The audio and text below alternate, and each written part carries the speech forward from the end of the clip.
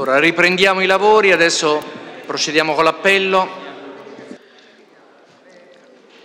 Bacci, Bornigia, Catani, Cingolani, Donofrio, Fil- Filonzi, Garofoli, Giampaoletti, Gullace, Lenti, Magagnini, Mancia, Mancinelli, Marasca, Massaccesi, Olivi, Punzo, Rossetti Francesco, Rossetti Giorgio, Santinelli, Spaccia, Tesei, Torri, Basta. 19 presenti.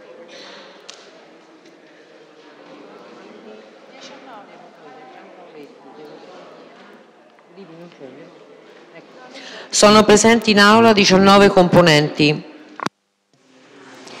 Grazie. Allora, prima dell'interruzione non avevo detto che le altre mozioni iscritte all'ordine del giorno, e cioè quella iscritta al punto 8, al punto 9 e al punto 10, ovviamente per ragioni di tempo vengono rinviate al prossimo Consiglio, essendo finito il tempo dedicato appunto alle mozioni. Adesso, prima di passare al punto 11, facciamo un passo indietro, diciamo come ordine del giorno, perché era previsto verso le ore, chiedo scusa, un po' di silenzio, verso le ore 15.30 eh, l'audizione del legale rappresentante dell'amministratore delegato della Fondazione Pergolesi Spontini nell'ambito delle audizioni che faremo dei legali rappresentanti delle società partecipate. Quindi prego William Graziosi di avvicinarsi.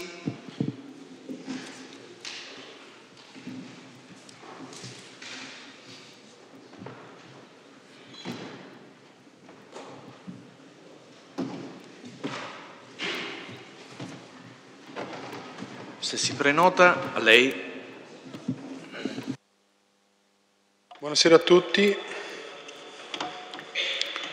Fondazione Pergolesi Spontini, azienda culturale di produzione e servizi per il territorio.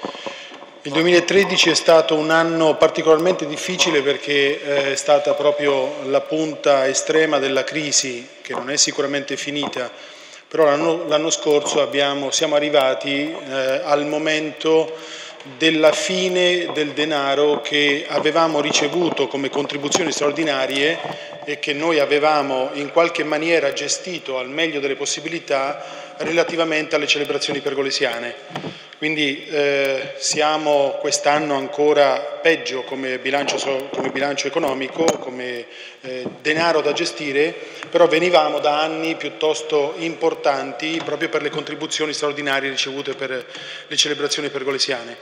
Però alla fine siamo riusciti a chiudere eh, le eh, attività della Fondazione Pergolesi Spontini in maniera positiva anche l'anno scorso ehm, rispetto a quelle che sono in principal modo per esempio le aspettative del Ministero dei Beni Culturali e quindi le contribuzioni che ci vengono date per le attività ehm, diciamo principali di produzione eh, della Fondazione, anche perché intorno ai due titoli ministeriali girano praticamente il 90% dei denari che arrivano alla Fondazione Pergolesi Spontini, al, al Comune prima e alla Fondazione Pergolesi Spontini oggi, da quando ha la gestione del teatro.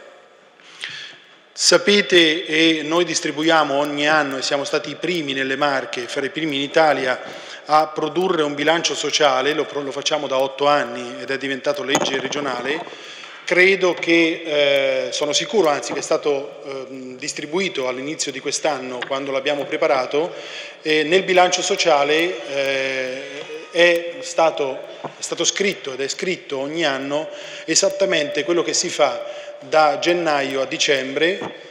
Voglio ricordare che una delle caratteristiche della Fondazione Pergolesi Spontini è proprio quella di non essere eh, un'associazione o comunque eh, una fondazione o un, un'attività temporale, ma è un'attività che si svolge durante tutto l'anno con 10 attività quest'anno diverse, l'anno scorso lo stesso, eh, che vanno dalla prosa alla sinfonica, al teatro giovani, il teatro ragazzi, eh, poi la, il Festival Pergolesi Spontini, la stagione lirica di tradizione e una miriade di altri eventi che vengono organizzati o gestiti insieme al Comune di Iesi.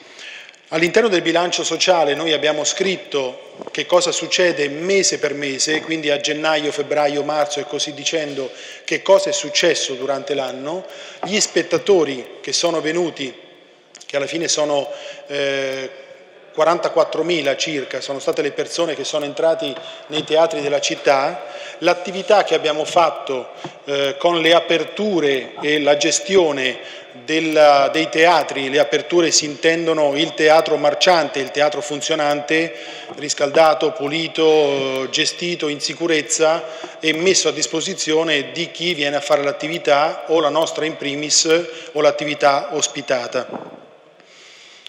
Ehm, l'anno scorso abbiamo ricevuto Abbiati, i due premi Abbiati che ci hanno portato a tre premi Abbiati, sono premi, sono l'Oscar della lirica eh, e sono dei riconoscimenti molto importanti perché eh, ci elevano ad una conoscenza maggiore rispetto al panorama nazionale ed anche internazionale rispetto all'attività che abbiamo fatto. L'anno 2013, vi dicevo prima, è stato veramente molto particolare perché siamo, abbiamo dovuto conciliare un'attività che è storica con delle risorse molto molto limitate. Tutto questo l'abbiamo fatto in stretta connessione e con una informazione puntuale, eh, non dico mese per mese, ma quasi con il Ministero dei Beni Culturali, andando a raccontare, e ovviamente tutto l'iter che è l'iter necessario all'interno del CDA, quindi l'informativa veniva data al CDA, ma soprattutto al Ministero dei Beni Culturali che ci permette appunto di avere questi, questi finanziamenti. Ehm, il Teatro Pergolesi è ubicato in una città, la più piccola, sono cose che io dico da, da sempre, ma eh, che vale la pena ripetere, la città più piccola in Italia ad ospitare un teatro di tradizione e eh, una città che può andare avanti nella sua attività soltanto con eh, un'attività doverosamente nazionale e auspicabilmente internazionale.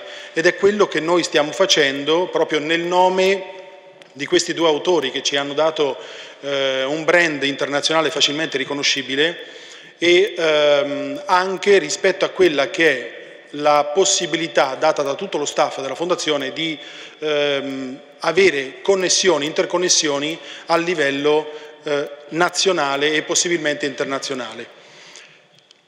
La gestione della Fondazione non è una gestione soltanto locale in città, il progetto nacque con l'idea di creare una sinergia e soprattutto un'attività che avesse come capoluogo nella Vallesina Iesi e che potesse in qualche maniera aiutare i comuni limitrofi a sostenere un'attività dispendiosa sicuramente, costosa, ma facendo capo ad un unico ente che avesse al suo interno tutto quello che è necessario per questa particolare attività che è lo spettacolo dal vivo. Quindi come azienda, io ho sempre definito la Fondazione per Pergolesi Spontini un'azienda, come azienda ha i vari reparti per permettere eh, lo svolgersi dell'attività interna ma anche, come dicevo, per poter permettere a dei comuni che sono affiliati alla Fondazione, sono soci della Fondazione, di poter avere un ufficio tecnico, un'amministrazione, un ufficio stampa,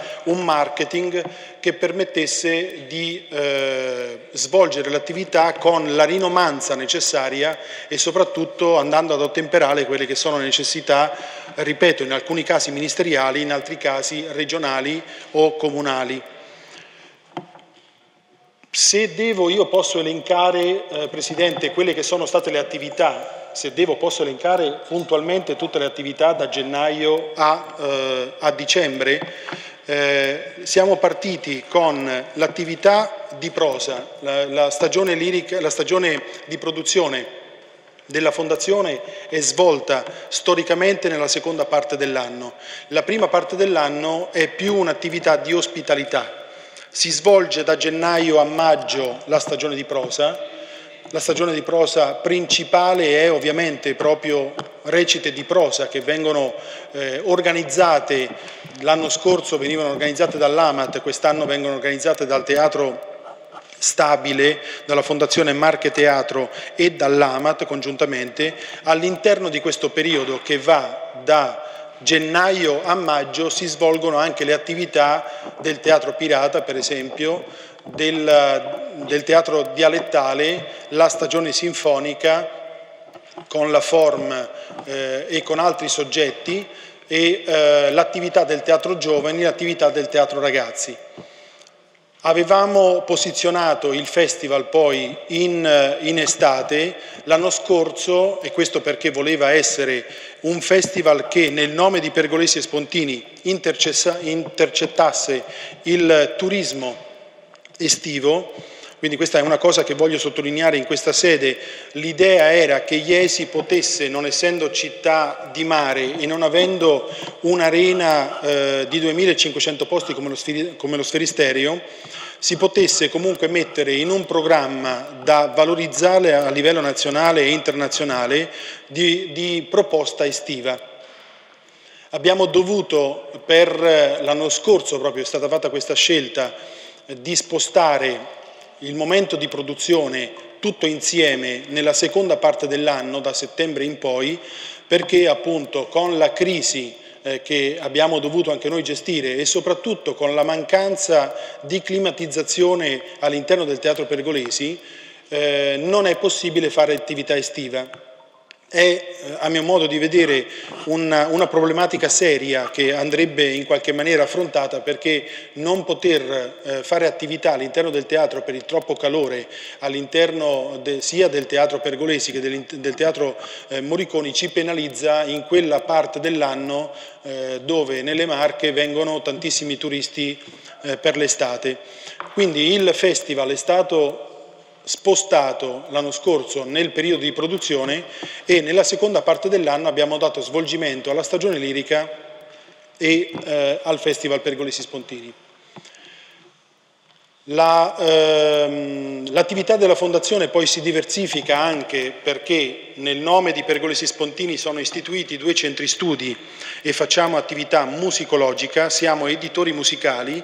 L'anno scorso abbiamo continuato, anche se un po' più in sottotraccia, a seguire gli studi sia pergolesiani che spontiniani.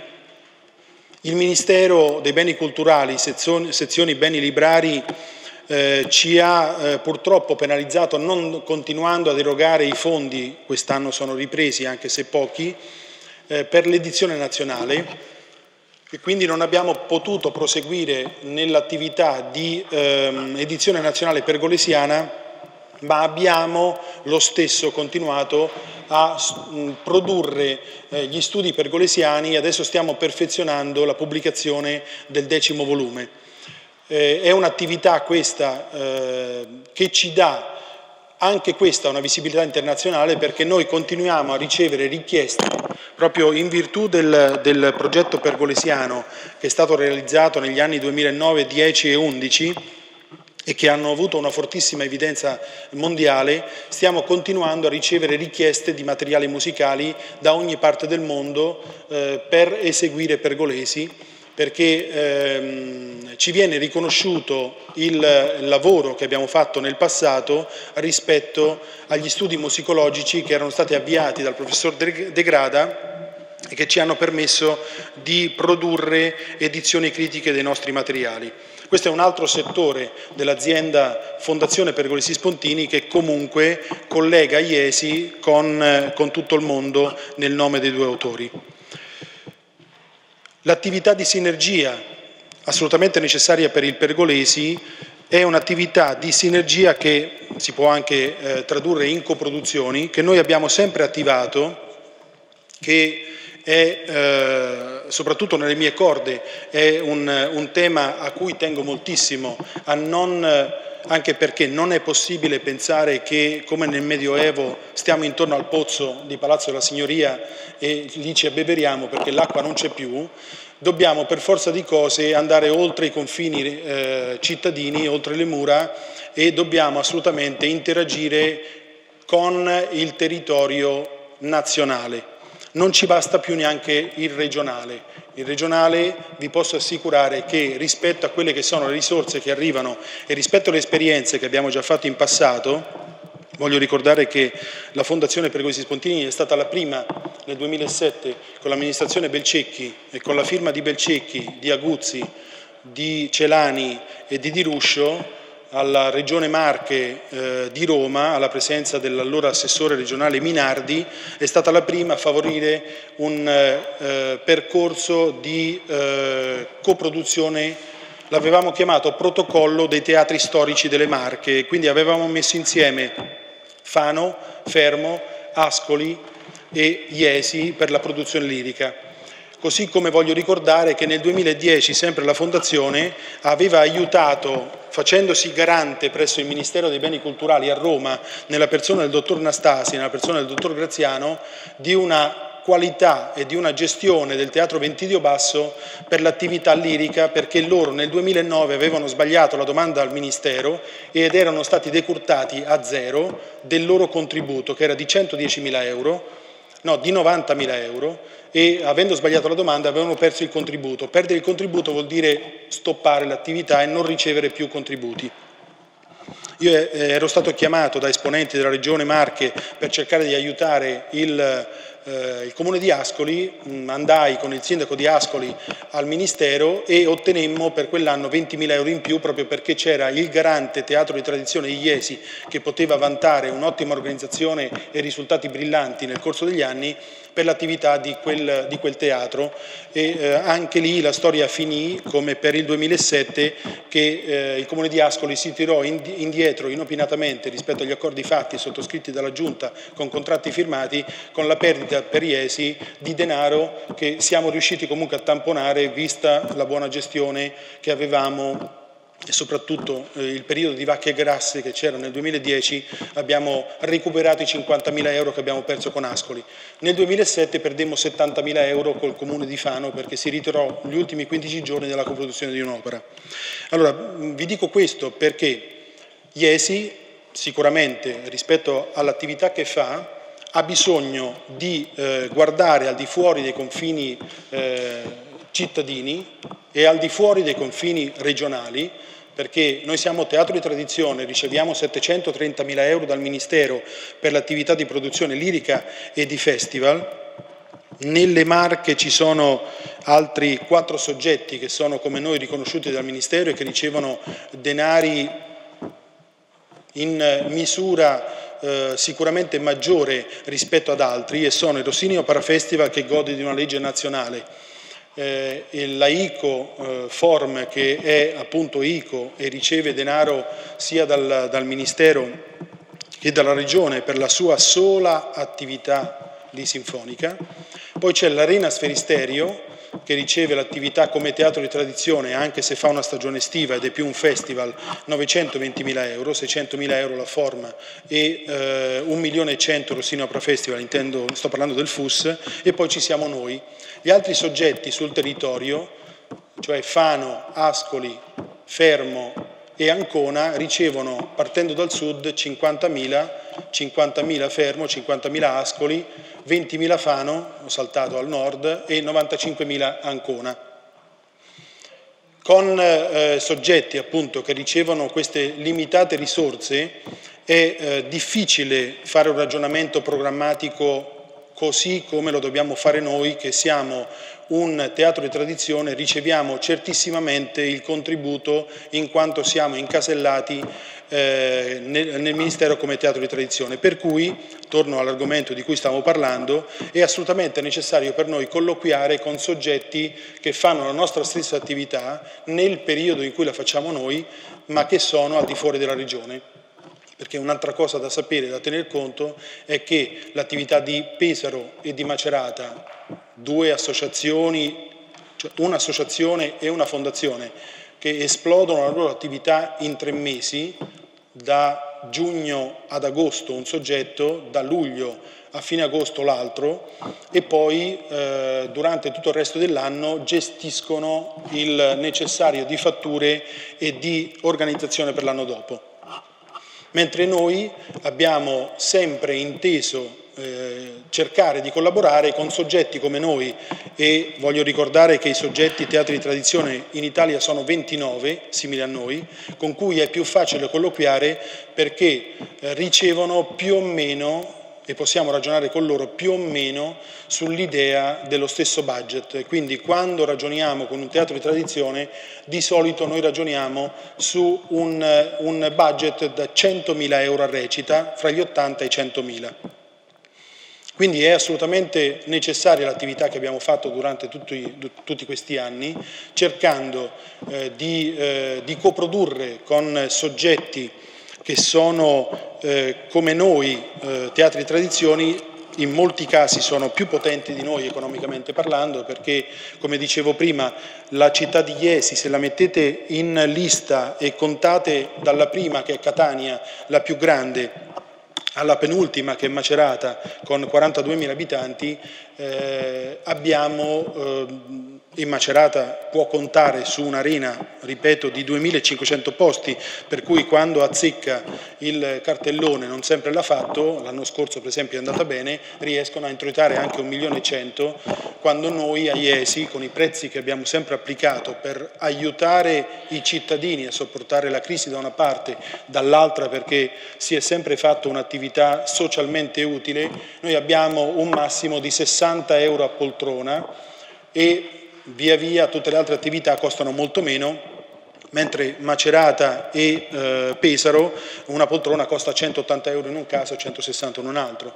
Se noi applicassimo quei prezzi probabilmente avremo molti meno spettatori e comunque il bilancio in entrata per lo sbigliettamento della nostra attività di prosa, quindi quella che veramente finisce nelle nostre, case, eh, nelle nostre casse è eh, veramente limitata, è un, una percentuale molto bassa rispetto al bilancio che noi gestiamo.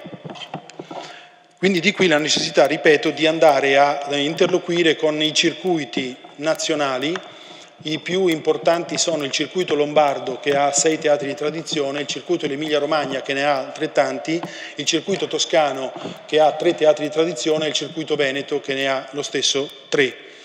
Eh, con questi circuiti è, eh, ripeto, molto facile operare ed è, eh, anzi io eh, essendo nel, nel comitato di presidenza nazionale dell'ATTIT, che è l'associazione che riunisce i eh, teatri di tradizione, ho chiesto di istituire, ed è la prima volta che succede, anche in virtù del decreto Franceschini che ci ha stravolto la metodica organizzativa, e qui entro un po' nel futuro della Fondazione, obbligandoci a fare una progettazione triennale. Eh, quindi il 3 novembre a Reggio Emilia ci raduniamo tutti i teatri di tradizione e le direzioni artistiche per cercare di condividere le eh, attività di programmazione di produzione per il prossimo triennio. Le attività che succedono, che eh, si svolgono all'interno del Teatro Pergolesi, di cui noi abbiamo la responsabilità di sicurezza e la responsabilità di dare un teatro, come si dice in gergo, marciante, sono attività che ospitiamo e che ci costano soltanto ma le, le, realtà che con noi organizzano queste attività, eh, eh, parlo dell'Amate per il passato o del Teatro Stabile per il futuro o della eh, Form o del Teatro Pirata, sono attività che vedono un esborso da parte nostra, un contributo come sempre stato a tutte queste associazioni o a queste fondazioni e eh, lo sbigliettamento che viene da loro preso perché hanno bisogno anche loro, essendo realtà finanziate dal, dal Ministero, di poter certificare la loro attività, per cui per Iesi è un'attività di spesa, ma è un'attività di spesa che è necessario farla perché se no non avremmo il ricco cartellone che abbiamo eh, tutti gli anni con eh, da, dai 10, l'anno scorso 10, quest'anno un po' di più, ma avevamo anche 15-16 manifestazioni nei nostri teatri durante tutto l'anno.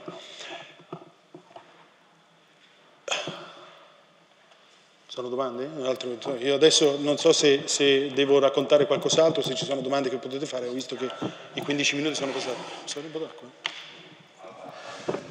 Grazie amministratore delegato Graziosi. Adesso, essendo un'audizione, potete anche fare delle domande, chiedere eh, dei chiarimenti, fare delle riflessioni su quanto è stato oggetto di relazione. Consigliere Punzo, a facoltà. Molto semplicemente, eh, grazie. Eh, se ci dà qualche delucidazione sui rapporti tra mh, mm, la sua fondazione, la fondazione che lei gestisce e il Form. Sì.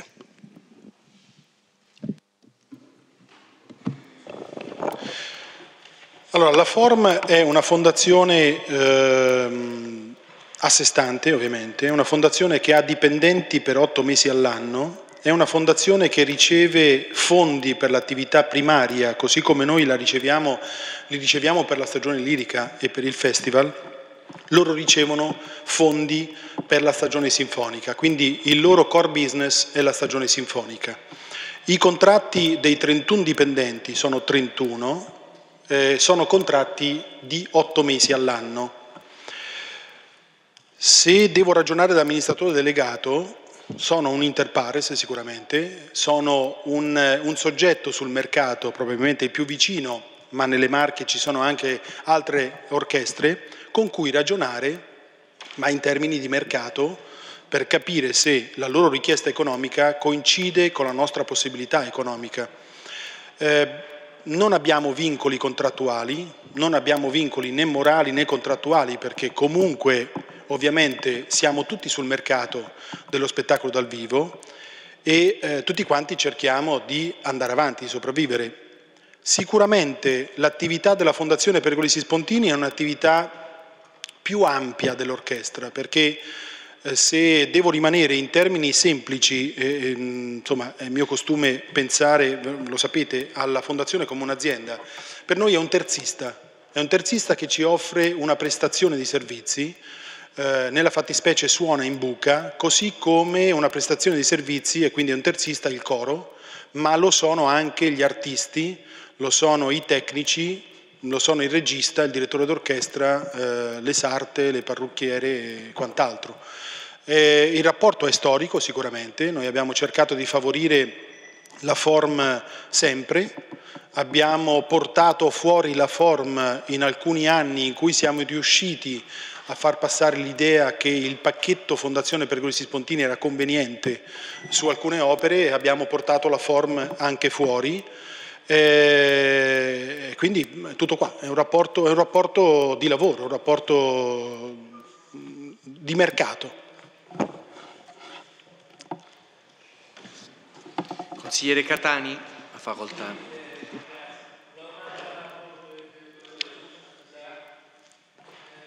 Lirica, che è l'attività più nota poi della, della, Fondazione, siete in collaborazione con altri teatri, che prospettive, cioè, per capire un po' le prospettive della stagione lirica, che poi è un po' il fiore all'occhiello direi della, della Fondazione.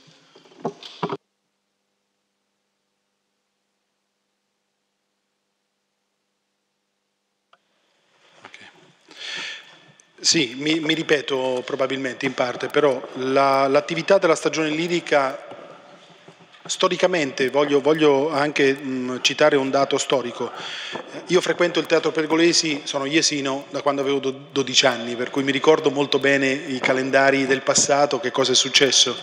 Eh, Iesi aveva la forza, in virtù di denari in più, probabilmente di potere politico in più, io mi chiedo ogni tanto, perché insomma, sono iesino, quindi non sfuggo alla logica del pensiero e di capire perché le cose vanno in una certa maniera, eh, comunque eravamo eh, sufficienti a noi stessi, quindi Iesi riusciva a soddisfare il bisogno economico per la stagione lirica e a fare i tre titoli non dovendo ricorrere a terzi. Ci sono stati anni in cui siamo riusciti a fare questo. Sicuramente non è più possibile oggi, non è più possibile eh, per crisi, non è più possibile per mh, mm, eh, motivi anche, se vogliamo, di visibilità.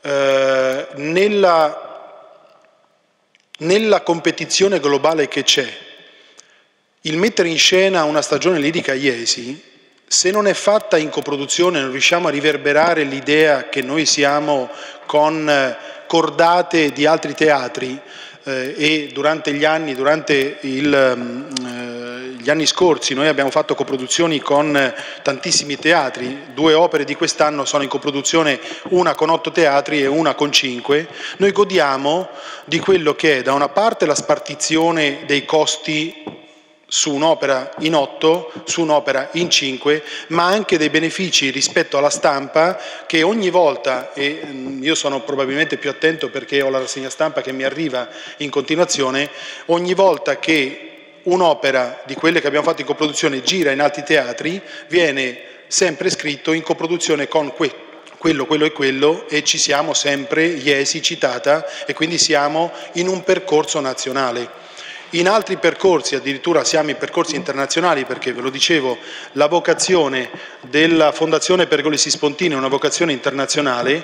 Noi abbiamo fatto coproduzioni quest'anno per i racconti di Hoffman con sette teatri francesi e l'anno prossimo il Don Pasquale sarà lo stesso con sette teatri francesi in coproduzione. Questo ovviamente ci permette di eh, avere la possibilità di ripartire le spese fra tutti ma anche di darci una grande visibilità.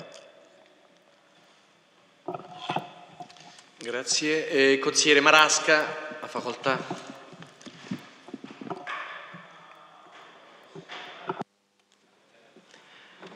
Grazie Presidente, ma io ho alcune domande che eh, dopo il primo incontro in commissione con l'amministratore ho potuto in qualche maniera, su cui ho potuto riflettere dopo l'esposizione, la relazione che l'amministratore ha fatto in commissione. Ma io ho pensato, anche guardando il materiale che ci è arrivato, se fosse possibile approfondire alcune questioni, cioè avere una risposta perlomeno in questa sede da parte del, del, del, dell'amministratore. La prima è questa, cioè quale produzione specificatamente viene fatta nei teatri della Vallesina e nel territorio che comunque fa riferimento a questa fondazione? Questa è la prima. La seconda domanda è se il bilancio della Fondazione nel tempo, in particolare negli ultimi anni, noi abbiamo avuto il rendiconto del 2013, però mi piacerebbe sapere se anche nel 2012-2011 se il bilancio della Fondazione ha registrato nel suo, nella sua parte economica delle perdite ed eventualmente se queste perdite sono state ripianate e da chi. Inoltre eh, volevo capire se, vista questa progressiva riduzione dei trasferimenti da parte dello Stato e dagli, da parte degli altri enti pubblici preposti, come la Fondazione pensava nei prossimi anni quale prospettiva di rilancio poteva essere in qualche maniera messa in campo, e questo ce lo può dire ovviamente chi conosce bene la Fondazione come lei, potevano essere messi in campo per un rilancio o comunque per una ricerca sul mercato di quei finanziamenti o di quelle risorse che in qualche maniera possono essere utili per rilanciare l'offerta culturale della Fondazione e del nostro territorio. La, la, terza domanda è questa, quale prospettiva invece abbiamo di razionalizzazione della spesa corrente della Fondazione?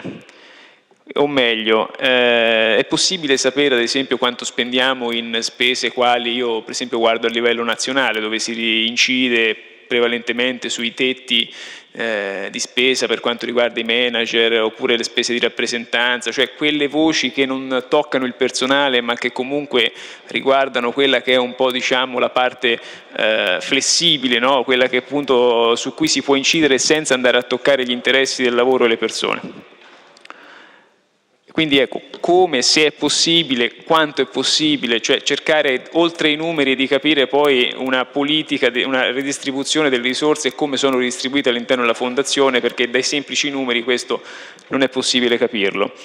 Eh, inoltre, quali benefici, quali risultati più che benefici ha comportato eh, la, la, recente operazione che è stata oggetto sicuramente di confronto anche con l'amministrazione comunale di eh, garantire più spettacoli a chi, viene, a chi è, nel passato abbiamo utilizzato diciamo, l'orchestra e la form, quali risultati concreti, cioè quali benefici anche tipo economico ha comportato dover poterci affidare a un'orchestra lombarda piuttosto che perché c'era stato, spe, stato, speso questa cosa come un, una possibilità di un beneficio economico per la fondazione eccetera, cioè capire se c'è stato effettivamente e se eh, questo, visto che è andata in scena la prima rappresentazione, quali sono stati, diciamo, da questo punto di vista, eh, i benefici. La quinta è visto che la Fondazione si sta aprendo anche a una fase di internazionalizzazione, quindi di rapporti anche con teatri che sono fuori dal Paese, anche fuori dalla comunità europea, credo, capire questa operazione se è un'operazione onerosa per il Comune o se è un'operazione a costo zero che prospettive ci sono e che opportunità abbiamo noi come teatro, come Fondazione Pergolesi Spontini? E soprattutto qual è il personale impiegato in questa operazione, cioè è un'operazione diciamo, di rappresentanza oppure vengono proprio impiegate le nostre risorse interne, vengono valorizzate, magari si fa anche attività fuori per garantire anche quello che diceva lei, cioè una fondazione aperta tutto l'anno e che dà lavoro vero, nel senso che non lo dà soltanto in alcuni momenti del, dell'anno, ma lo dà comunque in maniera continuativa, assicurando una ricchezza anche dal punto di vista occupazionale. L'ultima domanda è questa, cioè eh, quali, perché francamente ancora questo è difficile capirlo, perché scegliere un, un accordo con Ancona e tenersi fuori da quella che è stata invece l'iniziativa a carattere regionale a cui hanno aderito praticamente tutti i teatri eh, di tradizione, ma anche non di tradizione della regione. Questo lo dico perché lei diceva non basta più neanche il livello regionale, ma se noi non partecipiamo neanche più a livello regionale e scegliamo un accordo con Ancona, io mi domando a questo punto perché e perché la scelta di non aderire a un'iniziativa di più ampio respiro come quella regionale, visto che poi quando si andranno ad attribuire le risorse, ovviamente anche in base alle ultime novità legislative, è normale che il governo potrebbe preferire una eh, aggregazione più eh, pesante rispetto invece a un accordo che semiprovinciale, perché parliamo di due grandi realtà, ma che sostanzialmente si trovano in un ambito territoriale molto ristretto e che hanno comunque, anche se buona, eh, possono garantire una buona offerta culturale e un buon pubblico, ma comunque diciamo che eh, un'aggregazione di quel tipo è competitiva rispetto alla nostra. Quindi ecco, capire su questi aspetti eh, se è possibile appunto fare un focus su, singole, su questi singoli elementi. Grazie consigliere Marasca. È pronto? Sì. Se si prenota. Ecco. Allora, rispondo di, mi sono annotato le domande, cerco di rispondere via via a tutte quante. Quale produzione, lei mi ha chiesto quale produzione, la prima, l'esempio è la prima produzione, è, ho visto volantini e si è detto che noi abbiamo portato i soldi Lombardia, in realtà la Lombardia ha pagato noi perché abbiamo costruito, noi, infatti una cosa che non ho ricordato è che noi abbiamo dei laboratori dove costruiamo per conto terzi e soprattutto in coproduzione costruiamo le scene. Tutto il progetto Pergolesi, e quando intendo tutto è tutto, dall'essere editori alle scene e ai costumi, li abbiamo costruiti noi, perché abbiamo una capacità aziendale di partire dalla A, arrivare alla Z e di dare il prodotto di produzione finito. Quindi la produzione, già dalla prima, è un esempio di coproduzione vero. La Lombardia ha pagato i nostri lavoratori che nei tre mesi estivi hanno costruito le scene dell'opera, della prima opera che abbiamo coprodotto. Questo è un esempio lampante, chiarissimo, di come lavorando, e in questo caso, in questa opera, siamo otto teatri insieme, ci sia modo di andare a discutere ripartendo le spese in otto e il beneficio che ha avuto Iesi, perché questa è stata la mia richiesta, andando a collaborare con il circuito lombardo, e con gli altri teatri che hanno ospitato, Reggio Emilia e altri, questa produzione, è stata quella di poter io costruire le scene, quindi io intendo la fondazione, che sono state costruite nei nostri laboratori e quindi in quei laboratori hanno lavorato personale marchigiano, formato nelle Accademie di Belle Arti marchigiane e eh, anche di giovani che noi abbiamo formato nel 2010 eh, con il progetto Sipario, i soldi della comunità europea che abbiamo ottenuto e voglio ricordare che siamo anche l'unico soggetto regionale, non lo sono nessuno degli altri, ad essere, nel nostro settore, ad essere agenzia formativa regionale. Quindi questa credo di aver risposto eh, e poi ovviamente ci sono tutte le altre cose che succedono. Tosca è una nostra produzione che già facemmo in coproduzione e lì eh, la facemmo all'epoca con il direttore artistico di Macerata che, che era Pierluigi Pizzi quando eh, tanto per dirle della flessibilità che poi torna utile sapere eh, con che flessibilità riusciamo a lavorare noi per rispondere ad altre domande, quando eh, io commissionai la Tosca ad un regista, venuto a sapere che a Macerata Pizzi aveva deciso anche lui di fare una Tosca nella stagione eh, del, del Macerata Opera Festival, io chiesi all'artista che avevo collocato di farsi da parte, avrei ricompensato quell'artista in altra maniera, ma entrai in coproduzione con Macerata e convinsi i miei colleghi del circuito lombardo e del, del circuito veneto di entrare in coproduzione e abbiamo fatto arrivare a Macerata Opera denari quell'anno fra i 70 e 80 mila euro per sostenere la coproduzione e soprattutto i costi che Macerata sosteneva quell'anno. Eh, voglio ricordare che nelle casse di Macerata, e ci sono eh, i bonifici bancari, la Fondazione Pergolesi Spontini, in virtù di quella coproduzione e di altre, del Rigoletto che abbiamo fatto, ha girato 240 mila euro di denaro che noi abbiamo recuperato con la nostra attività di teatro di tradizione e di attività di lirica di produzione invernale, convincendo i colleghi a cooperare con Macerata, che sennò sarebbe una realtà eh, distinguibile soltanto per un periodo dell'anno e soprattutto con un palcoscenico di quelle dimensioni assolutamente non adatto per lavorare con i teatri al chiuso. Perdite. Le perdite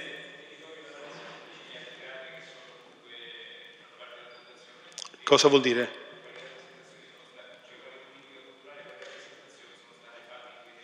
Beh, la cultura si fa con i denari, non è vero che non ci si mangia, ma ci si mangia e tutte le persone che ci lavorano vogliono essere pagate. Quindi se i comuni mettono denaro per le produzioni, non riusciamo a fare produzione. I teatri piccoli... Sì. I teatri piccoli, i teatri, lei intende i teatri piccoli, i teatri piccoli non hanno esigenza di produzione, non ci hanno mai chiesto di fare produzione, ma noi abbiamo, noi abbiamo sempre portato, proprio nell'ottica di una collaborazione sul territorio e ricordo anche che fu il Presidente della provincia Giancarli a chiedere questo, noi abbiamo fatto tutti gli anni con un dispendio, tutti gli anni, con un dispendio sicuramente per la Fondazione, perché fare le cose soltanto al Pergolesi e al Moriconi sarebbe meno costoso, abbiamo portato appuntamenti di ogni festival, e basta che va nel sito della Fondazione, vede le edizioni precedenti, le 13 edizioni precedenti del festival e vedrà che noi abbiamo toccato, proprio su indicazione della provincia, tutti i teatri della provincia, da Fabriano a Senigallia, con tutto quello che c'è in mezzo. Perdite, la flessibilità di cui le parlavo, ci ha sempre fatto ragionare in maniera molto schietta, molto diretta. Noi abbiamo cancellato nel 2010, l'anno delle celebrazioni, quando il governo Berlusconi decise di non finanziare i comitati nazionali e ne, ne finanziò soltanto uno, il Benzo Conte di Cavour, non finanziò, seppur approvato dal Senato e dal Parlamento, il Comitato Nazionale Pergolesiano, che all'epoca era presieduto da Gianni Letta, eh, io decisi, in qualità di amministratore delegato, era la mia responsabilità, di chiamare personalmente 200 artisti che da lì, e questo successe a luglio, il ministro Bondi cancellò tutti i eh, comitati nazionali, io decisi di chiamare 200 persone, 200 artisti che sarebbero venuti a settembre, nell'anno delle celebrazioni, e cancellai il festival del settembre 2010 andando a ridiscutere con tutti gli interlocutori nazionali che avevano aderito al progetto quando sarebbero arrivati i soldi e riposizionare il festival in un altro periodo avendo la certezza dei finanziamenti. Per cui la Fondazione cosa c'è in portafoglio si fa. Non ha mai fatto perdite, soltanto il primo anno nel passaggio comune, comune fondazione della gestione ci venne detto quanto avevamo a disposizione a novembre, ottobre, con la stagione in essere e ovviamente eh, si fece il primo anno un buco di bilancio, però d'accordo con l'amministrazione Belcecchi e l'assessore Leonardo Animali di, eh, di, approvare un bilancio in perdita che sarebbe stato ripianato con l'attività degli anni successivi, cosa che abbiamo fatto rientrando di quella perdita le perdite non ci sono, il nostro bilancio è assolutamente sano e non ci sono euro eh, nascosti o perdite nascoste. Risorse. Le risorse sono quelle possibili in, eh, in questo territorio. Mm, l'ho detto prima e eh, quando parlo cerco di essere abbastanza logico e di far capire quali sono le intenzioni e quali sono le azioni. Questo territorio può esprimere la capacità eh, di raccolta dalle tasse per i 40.000 abitanti che abbiamo. È un territorio che ha sì due banche all'interno ma non sono più del territorio, eh, ha sì un tessuto industriale molto importante e mh, sia la Piralisi Group che la Fiat eh, con eh, la Fiat Trattori sono con noi, avendo illustrato qual è il progetto dal 2001 e eh, ci stanno vicini, ma molte altre società non sono entrate stanno alcune eh, che, che, sono dentro la compagine della Fondazione, stanno così come Banca Marche, Banca Marche quest'anno ci ha tagliato del 50% il contributo, eh, Ubi Banca sta mantenendo il contributo per la prosa ma non ha mai voluto intervenire eh, per, per l'attività musicale, la Cassa dei risparmio di Iesi eh, non ci dà più niente da un paio di anni con delle contribuzioni che sicuramente non erano adeguate per quello che è il teatro cittadino eh, che fa l'attività che facciamo su 12 mesi all'anno. Quindi le risorse possibili, voglio ricordare anche che la provincia di Ancona, che era un socio fondatore che ci dava 110.000 euro, quando, quando fu chiusa noi perdemmo anche 110.000 euro della provincia. Quindi quali sono le risorse io me lo chiedo, forse lo chiedo più a lei che è un amministratore o a lui, però insomma a questo consesso, eh, perché anch'io sto cercando di capire eh, quali saranno le risorse future. Il, il ministro Franceschini con questa azione, che è un'azione molto dura, ha posto l'asticella molto in alto, ti dice che ti dai i soldi per tre anni, però devi stargli dietro. Io ti do i soldi per tre anni, ma tu devi partecipare, devi dimostrarmi che continui a fare l'attività che io ti richiedo per legge. Se saremo capaci potremo andare avanti. Razionalizzazioni. Sì, sono possibili e certo si possono provare a vedere quali sono le persone eh, in più, qual è il, eh, il costo che si può abbattere. Io per esempio quest'anno ho deciso di togliermi una mensilità, quindi il mio lordo è di 10.000 euro inferiore rispetto all'anno scorso. L'ho già fatto l'anno scorso, che per sei mesi ho preso eh, il 25% in meno del mio stipendio, per quello che riguarda me, e non ho mai voluto, nella mia posizione, nelle Marche, sono tutti dipendenti delle fondazioni. Mi sono tolto una mensilità, sì. No, no, no, 10.000 euro, vuole sapere quanto prendo? 44.000 euro all'anno. Il lordo, no, eh, beh, chiaro, no? Eh, però se lei conta il lordo e il netto, sto parlando del lordo, eh, mi sono tolto una mensilità che poi diventa un lordo per la fondazione ovviamente. E se lei va a vedere, le volevo dire che siccome il mio, il mio per legge è pubblicato, rispetto all'anno scorso sono 10.000 euro in meno. Eh, per quello che riguarda la razionalizzazione la possiamo fare, possiamo ridurre il raggio di azione della Fondazione, eh, possiamo sicuramente licenziare delle persone, noi abbiamo con le razionalizzazioni possibili abbiamo soppresso degli uffici assolutamente necessari, non abbiamo più l'ufficio formazione, non abbiamo più l'ufficio eh, progetti europei, eh, proprio perché abbiamo mandato a casa delle persone che lavoravano con noi e abbiamo eh, contratti eh, l'ho fatto pubblicare nell'ultimo organigramma, lo vedrete, vedrete quanti sono i dipendenti, quanti sono i contratti professionali a partita IVA e quanti sono quelli eh, diversi, insomma, quali sono i contratti diversi. Tutti i contratti che si possono, per quello che riguarda i, i non dipendenti, Guardi, adesso mi fa una domanda, entrare nello specifico, non, se vuole poi le, sarò, le saprò dire, sarò, posso essere più preciso. Comunque per quello che riguarda, siccome dirigo io la fondazione e quindi la mia, la mia mentalità, io non ho mai, rispetto ai miei colleghi delle marche che dirigono le altre fondazioni, sono tutti dipendenti. Io ho, sono un COCOPRO manager finché la legge lo potrà per, permettere e voglio essere valutato anno per anno. Se non funziona vado via, sono il primo ad andare via. Quindi razionalizzazioni assolutamente sì possibili, quindi ragioniamo su che cosa vogliamo fare, che cosa vuole essere la Fondazione, la Fondazione è stata voluta dalla politica, la politica la potrà anche chiudere. Le spese? Facciamo, facciamo finire però Graziosi perché sennò diventa... Eh, però a lei ha, posto sei domande, eh, vabbè, sei domande che vogliono, meritano la risposta, se no diventano risposte insufficienti, eh, allora... Spese di rappresentanza che cosa intende lei?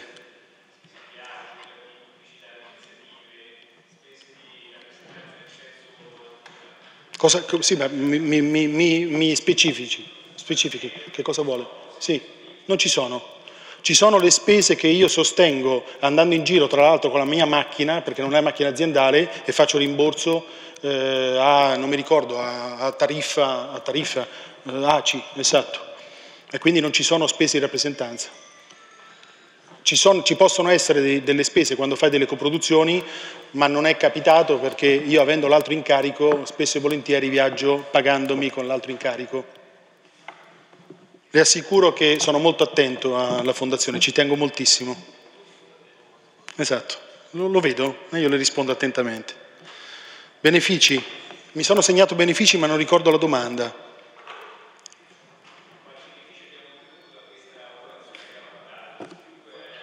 Ah. Allora, le, le, dico che sicuramente i benefici che abbiamo ottenuto sono i benefici di non stare in una situazione non chiara.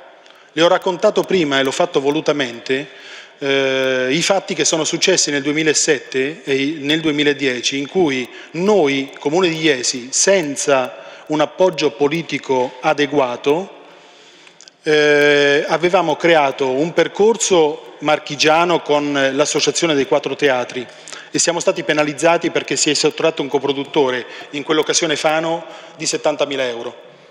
E il comune di Ascoli, che si è ritirato sulla base di accordi presi con l'amministrazione per la prima opera fatta e la prima opera fu traviata che noi demmo gratuitamente come allestimento, quindi con un grande guadagno per Ascoli, la seconda opera, che doveva essere proprio la Tosca di nostra proprietà che mettiamo in scena adesso, eh, ci venne detto mh, per ragioni interne e per ragioni campanilistiche, che sono quelle che più di una volta purtroppo penalizzano questo Paese che non riesce a guardare un attimo fuori dai propri confini, eh, che non avremmo fatto quella tosca e in quell'occasione anche perdemmo 50.000 euro.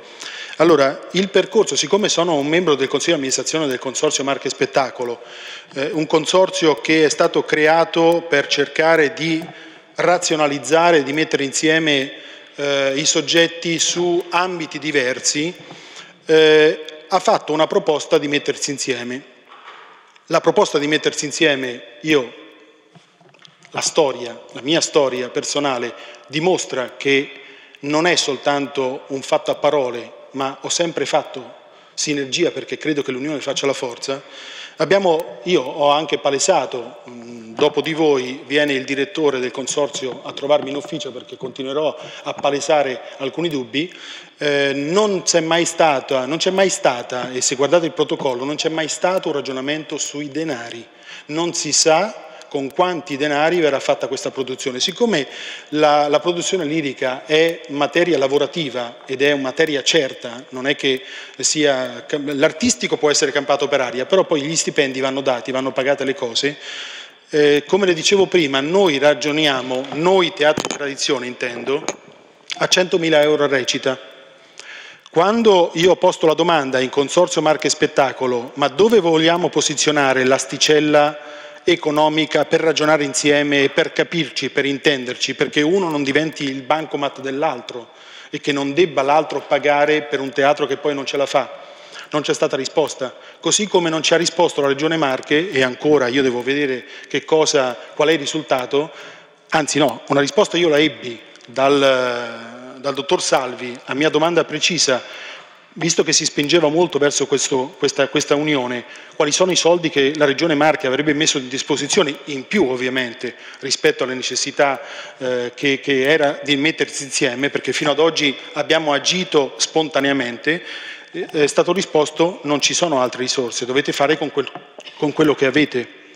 Allora, se io devo ragionare proprio quest'anno per il futuro in un progetto triennale, quindi tutti devono essere capaci di andare a dire con certezza per entrare nella legge nazionale del FUS, io nei prossimi tre anni e il teatro di tradizione ha come obbligo tre opere, otto recite, quindi noi dovremo presentare il 31 gennaio un progetto di 24 recite su nove titoli, chi può essere in grado nelle marche di fare un ragionamento simile, noi prendiamo, le ripeto, 600 mila euro per la lirica, per comuni che prendono 50.000 e 20.000, come possono essere in grado di andare a produrre un progetto per il prossimo triennio, quindi garantire per la lirica ordinaria due titoli a teatro, quattro recite. A queste domande non c'è mai stata risposta e se vuole sapere un iter, e eh, mi pare che oggi l'assessore Marasca di Ancona ha specificato questo, quando sono state poste delle domande logiche rispetto al protocollo sottopostoci non c'è stata data risposta. Della conferenza stampa, perché di quello stiamo parlando, che si è svolta in Ancona, non c'è stata data convocazione, non siamo stati assolutamente chiamati. E io ho avuto modo anche di parlare con il mio collega Gianfranco Mariotti, che conosco da vent'anni, che ha aderito a questo protocollo, in, siccome lo conosco bene e conosco il suo pensiero e lui non ha mai lavorato con le Marche, ha collaborato con noi e con l'Accademia Rossiniana anche in virtù di una direzione artistica molto amichevole e molto vicina a Mariotti e, e, e, di un pesarese, abbiamo fatto con l'Accademia Rossini il Barbiere di Siviglia e il Viaggio a Reims. Quali erano i motivi? Eh, eh, sono, sono, curioso di capire e di vedere il protocollo che è stato, che è stato sottoscritto, perché mi è stato detto eh, che ci sono delle modifiche che a noi non sono state dette. Comunque sarà interessante nei prossimi giorni. Di cosa? Di? Di cosa? I benefici di cosa?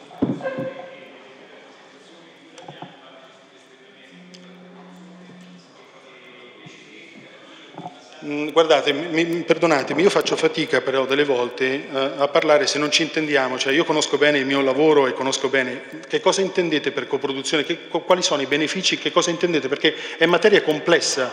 Quando ti metti insieme a dei teatri e parli di una coproduzione che riguardano orchestra, coro, produzione, artisti,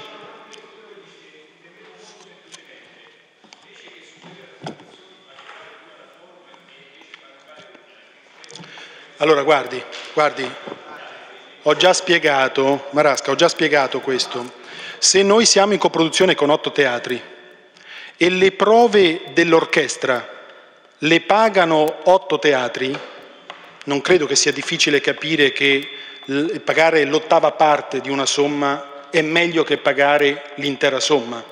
Le prove dell'orchestra lombarda, signora, le prove dell'orchestra lombarda è stata sono state fatte a, ehm, a um, Como e sono state fatte intanto in misura adeguata. Negli ultimi anni, cioè, per questo le dicevo che bisognerebbe capire bene, perché c'è una parte artistica e una parte economica. Negli ultimi anni con la Form siamo arrivati a fare una contrattazione sul denaro a disposizione, cioè veniva il direttore artistico della Form e mi diceva quanto hai quest'anno? Facciamo le ipotesi, 100.000, per 100.000 vengo due prove quell'opera, due prove quella e una e mezza questa, perché il nostro costo sindacale è questo, per cui se tu hai questo, e non c'era modo di trattare, se tu hai questo io vengo per questi giorni. Una delle ragioni di maggior arrabbiatura del direttore artistico Gianni Tangucci l'anno scorso è stato che io ho potuto dare un budget per l'orchestra di un certo tipo, il risultato è stato che l'orchestra Form è venuta da me con un numero di prove assolutamente inadeguato. Per questo Don Giovanni noi abbiamo fatto tre assiemi, tre letture e due generali, un antegenerale e un generale. Per voi forse non vuol dire niente, ma per me vuol dire 5 ore, 8 ore, due giorni, 5 ore, tre giorni, anzi 5 ore, tre giorni e poi l'intera opera per due volte. Se io dovessi eh, ributtare questo costo sul costo eh, sindacale della forma, viene fuori una, una somma insopportabile, cioè non, non pagabile per la Fondazione Pergolesi Spontini con l'attuale bilancio. Ripartita questa somma in otto, e io spero che nel futuro ci possa essere un ragionamento, questo sia auspicato e più di una volta in tutte le riunioni che ho fatto con la Regione Marche, visto l'esempio della Regione Lombardia, dove la Regione Lombardia per chi partecipa a quel circuito l'orchestra costa esattamente la metà del prezzo sindacale, che la Regione Marche intervenga con del denaro da dare in più, non lo chiedo per me, che lo dia di più alla, alla Fondazione, alla Form, per costare la metà come costa in Lombardia. Allora, vi prego di mantenervi nei limiti possibili, gli interventi che sono 5 minuti, senza fare troppe domande no, all'amministratore delegato, se no ovviamente andiamo fuori con il tempo, diventa estremamente impegnativo. Allora, consigliere Magagnini, la facoltà. Ah, c'erano due, due punti.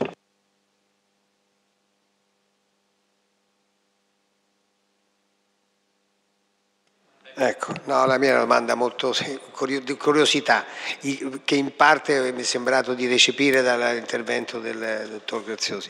Il costo di, una, di, un'opera, diciamo l'esempio del San Don Giovanni, rapportato a quello che è il botteghino, perché la, la, preoccupazione un po' di tutti è quella che prima o poi in Italia non ci possiamo più permettere questo tipo, cioè, e la cultura sbagliando nettamente la cultura, si, eh, affiorino le frasi con la cultura non si mangia. Ecco, un rapporto che mi sembra che siamo a rapporti molto percentuali molto, molto, molto bassi, quindi ecco, una, indicativamente, adesso, eh, naturalmente tenendo conto di questa collaborazione con altri teatri che evidentemente da quello che lei dice, che posso intuire, è obbligatoria. Ecco, Grazie consigliere Magagnini.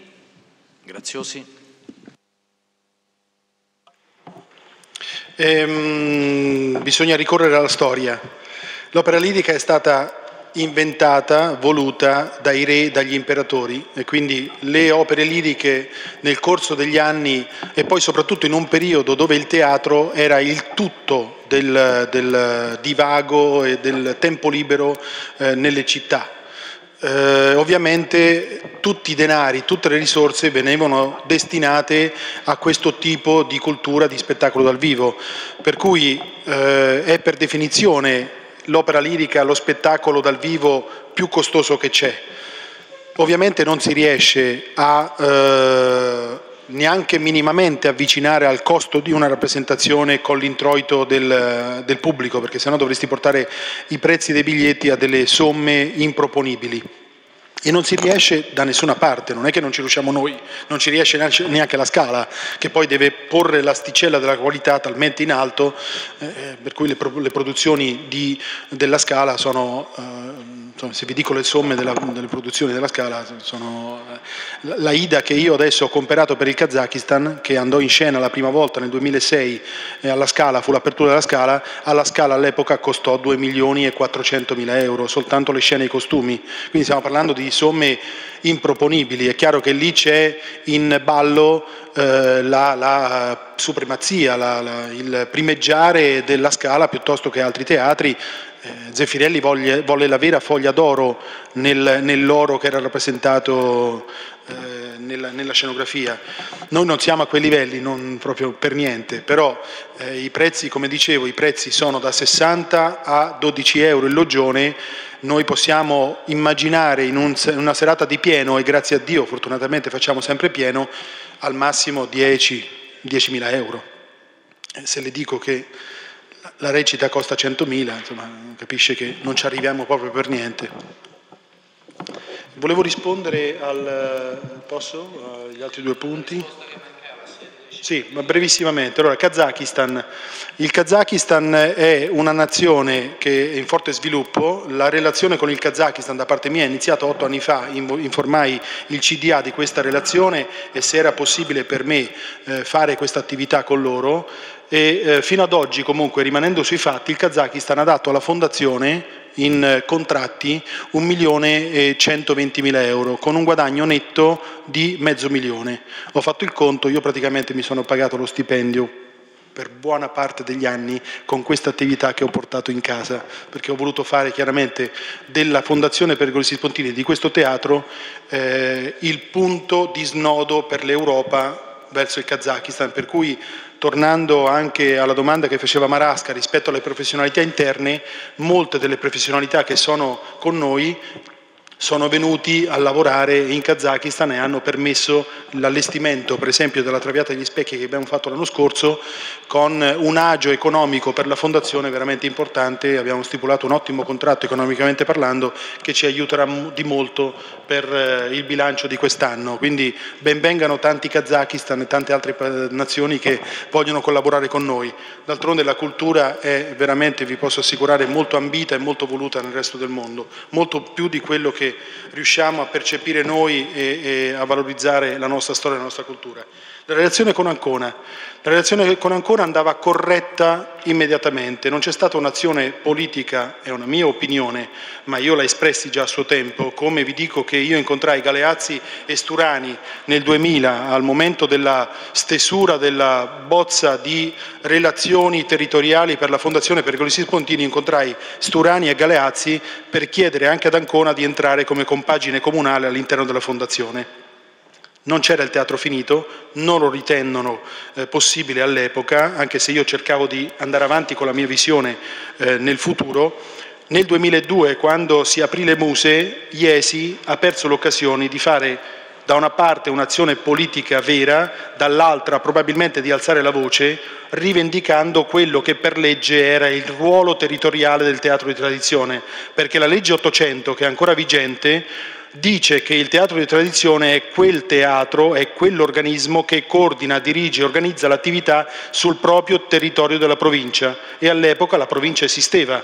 Quindi quando qualcuno ha fatto una battaglia al Ministero per ottenere fondi per una lirica eh, ordinaria ad Ancona senza tener conto di noi, doveva invece tener conto di noi e probabilmente Iesi, che era ancora a mio modo di vedere, io ragiono per la mia testa, in una fase calante eh, purtroppo nel suo, nel suo porsi nella, nell'agone politico eh, marchigiano, eh, non, non fece la voce grossa quella volta. E, e eh, per molti anni voglio anche dire qui e ricordare che la domanda al Ministero è stata firmata e sottoscritto dall'Arena Sferisterio e non da Iesi. Questo eh, io l'ho sempre ritenuto l'ho fatto notare al Ministero, l'ho sempre ritenuta un'invasione te territoriale perché viva Dio su questa provincia c'era un teatro di tradizione che doveva per legge colloquiare con Ancona. Questa è una cosa che ho sempre ritenuto e ne ho parlato con l'amministrazione Belcecchi perché io ho lavorato con l'amministrazione Belcecchi da due anni con Bacci, alla, al sindaco Belcecchi e credo alla giunta più di, più di una persona sa, eh, guardo l'amministrazione um, Olivi perché all'epoca era in fondazione e la lettera per Ancona, la congiunzione con Ancona la scrivemmo nel 2000 2011 condividendola con l'assessore Lasca che era membro del CDA e, e Belcecchi perché sul territorio non puoi avere la competizione di una città di 100.000 abitanti, capoluogo di regione, che politicamente purtroppo eh, può fare la voce più grossa della nostra. Quindi se lei mi dice qual è la relazione possibile con Ancona, io ci trovo soltanto vantaggi perché eh, trattando con la città più importante e soprattutto sul territorio con l'altra città che ha una, no, una, de, una, denominazione ministeriale, quindi un teatro di tradizione, così come noi siamo un teatro di produzione, scusate, stabile, così come noi siamo teatro di tradizione, ritengo doveroso che noi lavoriamo insieme perché la prosa sia fatta con loro e la lirica fatta con noi, perché fino ad oggi questo non è mai successo. Si sono sempre eh, elevati ad una condizione di scala delle marche senza ragionare con noi, ma cercando sinergie, semmai, con altri territori della Regione e in primis con Macerata. Grazie. La consigliera Mancia, facoltà. Ah, prima eh, chiedo scusa, ricordo che avevo anche indicato all'amministratore delegato della Fondazione che per correttezza eh, in qualche modo rimaneva sempre sospeso il discorso di petizione form su cui è stato interessato la l'ufficio di presidenza che allo Stato non viene trattato e non sarà trattato a mio avviso finché non verranno regolarizzate le eh, irregolarità formali peraltro che ci sono nel testo della petizione stessa. Quindi auspico che non ci saranno anche ulteriori domande esclusivamente su form, anche perché la questione form la potremo trattare a tempo debito anche avendo presenti gli stessi eh, firmatari, sottoscrittori. Credo che sia giusto anche per chi comunque ha presentato quella petizione. Consigliera Mancia. Grazie. Dunque io ho preso un po' di appunti e stavo pensando, una volta si diceva piccolo e bello. E qua eh, allora siamo di fronte una, eh, alla, alla, città più piccola, se non, non sbaglio, eh, d'Italia, che, che ha un teatro di tradizione. Però questo teatro di tradizione deve essere per forza grande. Ehm, mi, mi, interroga la, il fatto che eh, ci sia questa, eh, da parte sua che gestisce la Fondazione, questa imponderabilità della scelta. No? Cioè per forza di cose la produzione deve essere glo globalizzata, abbiamo visto come stan, stanno andando altre globalizzazioni. E per forza bisogna interloquire con eh, i circuiti nazionali, quindi bisogna avere questa dimensione nazionale e, e internazionale. Mi, effettivamente mi spaventa un po' questa cosa. Farò la figura della retrograda, però ve lo devo, lo devo dire, insomma. Cioè che cosa, che cosa succede se il cartellone eh, è un po' meno ricco e roboante e magari la cultura è un po' più fruibile e, e diffusa no? da parte de, de, de, della popolazione? Ossia, io, io sono un insegnante, combatto da vent'anni l'aziendalizzazione della scuola, non mi rassegnerò mai il sapere non può essere ridotto a, a un mercato, no? l'offerta formativa, io ti do, tu, gli alunni sono dei clienti. Quindi si figuri di fronte alla, alla musica e alla, e alla, cultura altra, se posso... Eh, ehm, non, lo posso accettare, insomma, lei ha un piglio aziendalistico, lei parla, e poi l'ha anche detto, io guardo alla fondazione come ad un'azienda è veramente il piglio dell'imprenditore, del, del, vecchio padrone di, di, di, di impresa e, ehm, e sa il fatto suo sicuramente. Dunque ammesso che le cose debbano andare così, no? E io comunque non mi ci rassegnerò mai. Eh, io credo che e dico io, quindi non coinvolgo, mh, mm, appunto sono appunti che ho preso eh, ascoltandola, quindi non è il pensiero del Movimento 5 Stelle, ma credo che, che mh, mm, possa essere condiviso. Eh, penso che ci sia un limite, cioè un limite sotto il quale non bisogna andare mai, in qualunque situazione. Il limite è, è, è, il rispetto per esempio delle persone, delle maestranze locali, eh, dei, degli operatori che, che, difendono il proprio lavoro. Mi ha impressionato il fatto che lei a conti sa, sa, sa tutto, ma non ha saputo rispondere a un, quanti sono eh, eh, i dipendenti. Questo mi impressiona parecchio. E comunque, allora, in questa, in, in questa visione eh, aziendalistica appunto, i conti devono portare, punto e basta, e non solo, ma sulla cultura ci si deve fare profitto. Una cosa che invece, che ha detto e un'altra cosa che mi sono eh, segnata è, è questa, no? la politica ha voluto la fondazione, no? mm, l'ha voluta la, la, politica, la fondazione, io vorrei aggiungere questa politica che sta qui, in quest'Aula, cioè, le va bene questo modo di, di gestione, di, di, di gestire la, la, fondazione, cioè non sarà il caso che diciamo anche noi mm, quello che pensiamo su, su come dovrebbe essere la fondazione?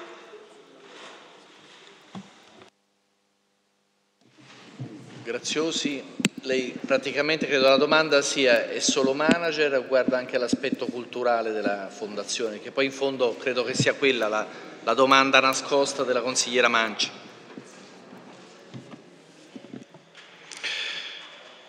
Allora, sicuramente la Fondazione, e l'ho ripetuto, l'ho detto all'inizio, è un'azienda culturale per cui si occupa di cultura e intende fare cultura e intende continuare a far vivere il teatro.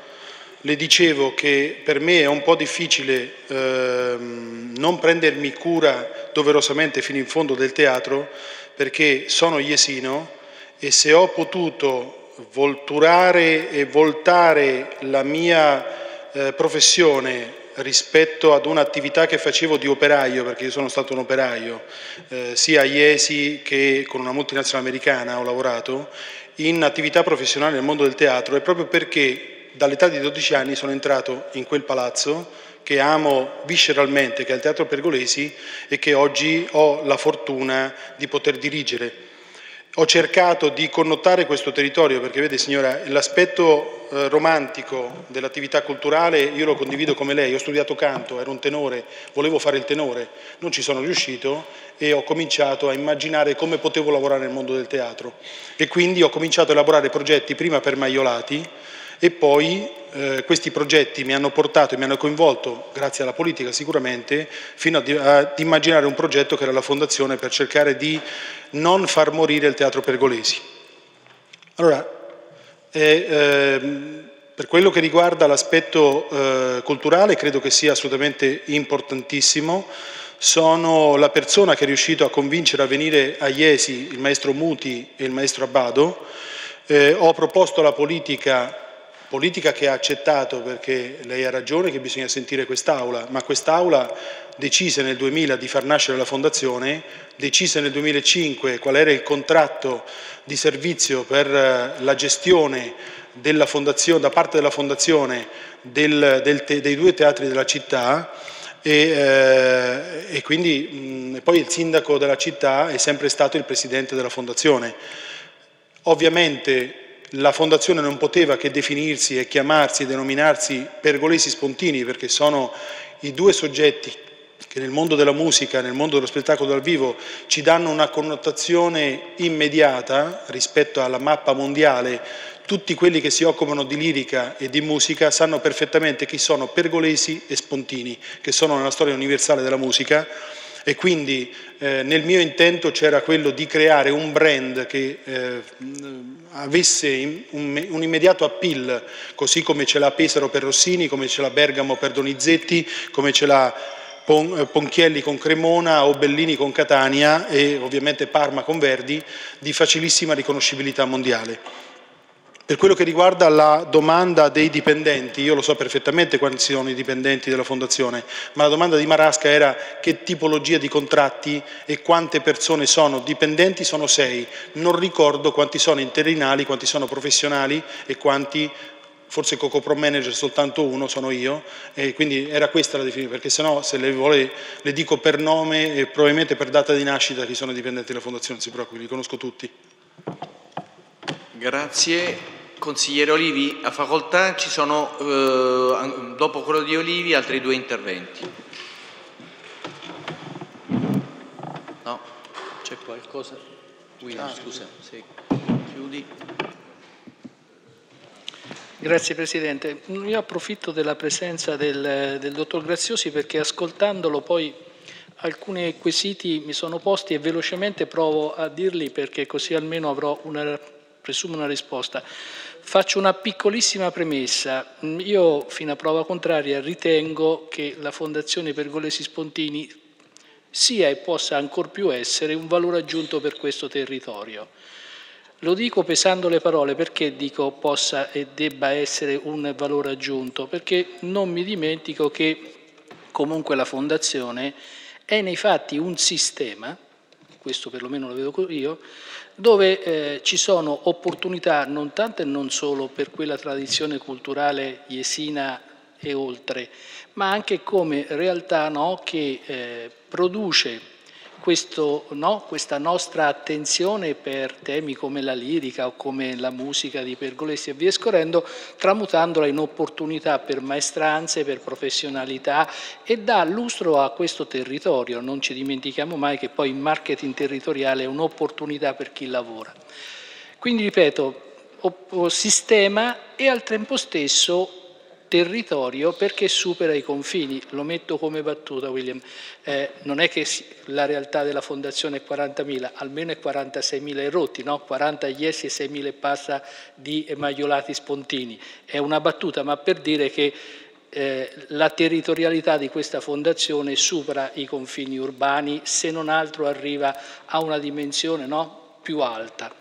Allora, facendo questo qui, e vengo appunto a, alle domande, non nascondo che leggendo i giornali come tutti qualche giorno fa, eh, quando ho, ho letto della, praticamente della sottoscrizione di questa rete marchigiana sotto l'egida regionale dei teatri di lezione ordinari, e quindi conosco la differenza fra l'essere ordinari e l'essere di tradizione, e quindi ho detto, beh, questo è un distinguo dove Iesi non c'è, però non mi è sfuggito il fatto che invece teatri di tradizione o di valore, penso a Macerata e Pesaro, comunque ci fossero, perlomeno l'hanno sottoscritta.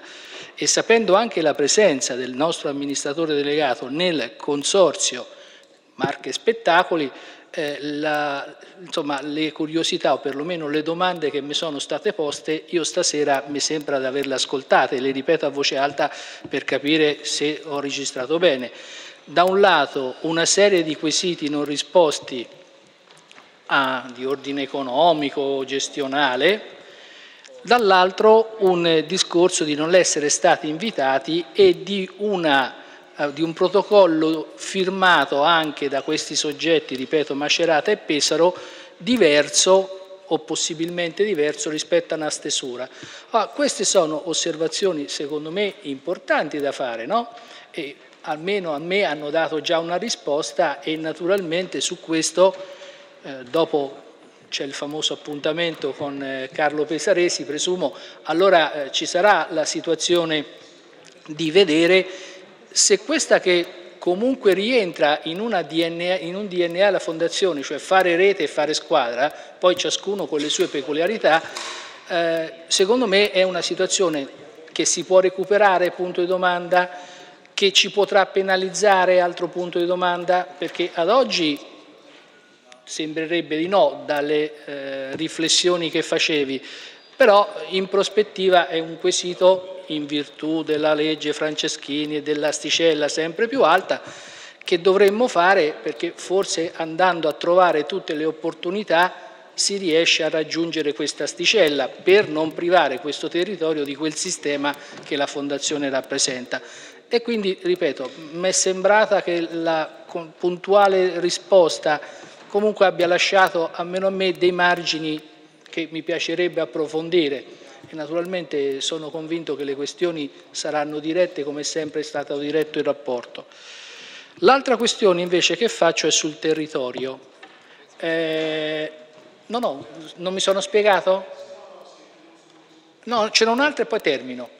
Un'altra invece che a me dalle parole che ho ascoltato arrivava pensando alla mission della Fondazione. Arrivo appunto, è l'altro termine che ho usato, quello del territorio.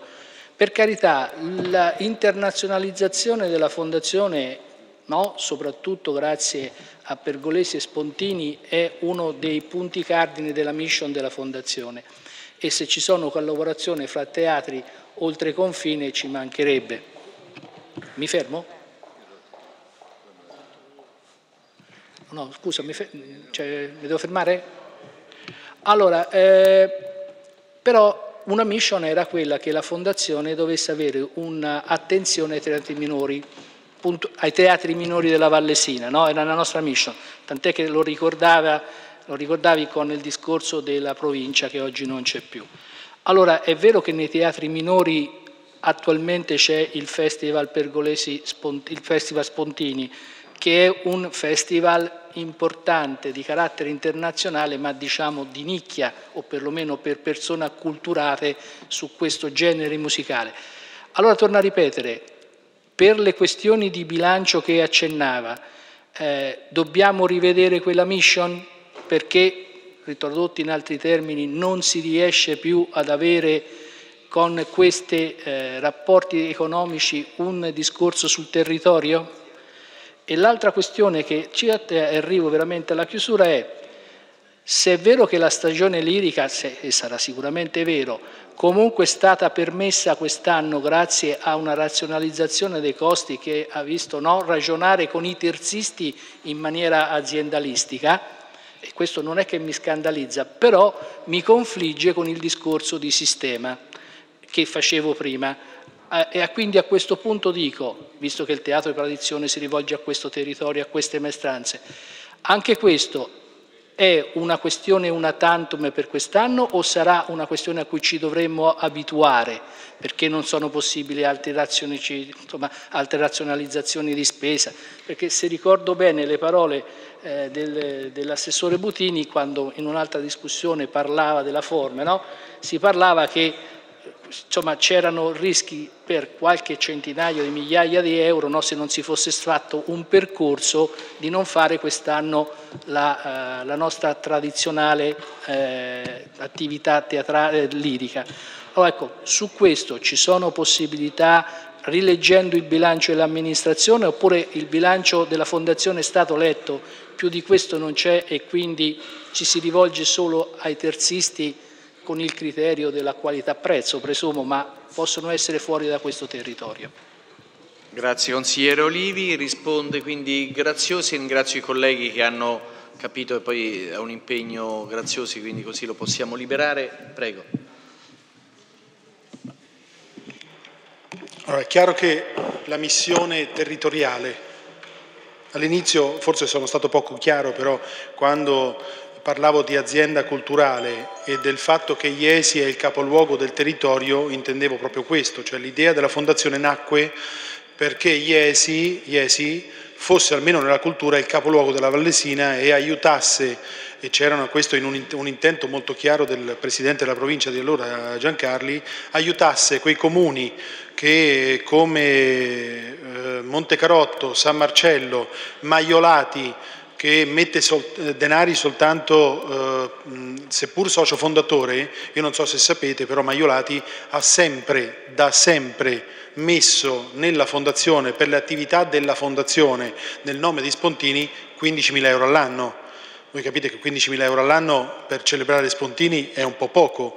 La Fondazione, proprio con questo eh, discorso dell'azienda culturale che si è posta di fronte alla Regione, alla provincia che c'era, ai privati, al Ministero, come ente superiore al territorio e che col territorio dialogava, è riuscita, ricordo soltanto con la Regione Marche all'epoca, ad aumentare nell'anno della fusione Nell'anno della creazione della Fondazione ricevemmo subito il contributo del FUS che riconobbe eh, la validità del progetto e dalla Regione Marche 50.000 euro. Nel momento in cui ci siamo uniti, eh, cioè che il Comune chiese al teatro di gestire, alla Fondazione di gestire il teatro, la Regione Marche compensò quello che dava la Fondazione e quello che dava il Comune con ulteriori 80.000 euro, per cui ci fu sicuramente un beneficio anche tangibile. In questo momento ti chiamano i comuni, Montecarotto, Monte San Vito, San Marcello, capitolo cultura zero, non abbiamo niente da darvi. Siccome noi nel contratto di servizio che stipulammo nel 2005 c'è scritta una cifra che poi è diminuita e la Fondazione non ha mai goduta, cioè non, non, non credo che possiamo lavorare a piedi lista perché sennò sarebbe molto più semplice, non abbiamo mai goduto eh, né di aumenti né di assestamenti di bilancio, cosa che succedeva regolarmente negli anni precedenti, ho degli atti degli anni, dei tre anni precedenti al 2005 quando ci fu dato la gestione del teatro. E so di fatti storici a novembre, assestamento di bilancio, la voce teatro stagione lirica veniva sempre eh, rimpinguata della necessità che c'era. Per quello che riguarda la Fondazione non è mai stato questo, non ho mai potuto presentare un conto a fine anno eh, con eh, denaro in aggiunta. Abbiamo sempre gestito quello che era possibile con quello che c'era.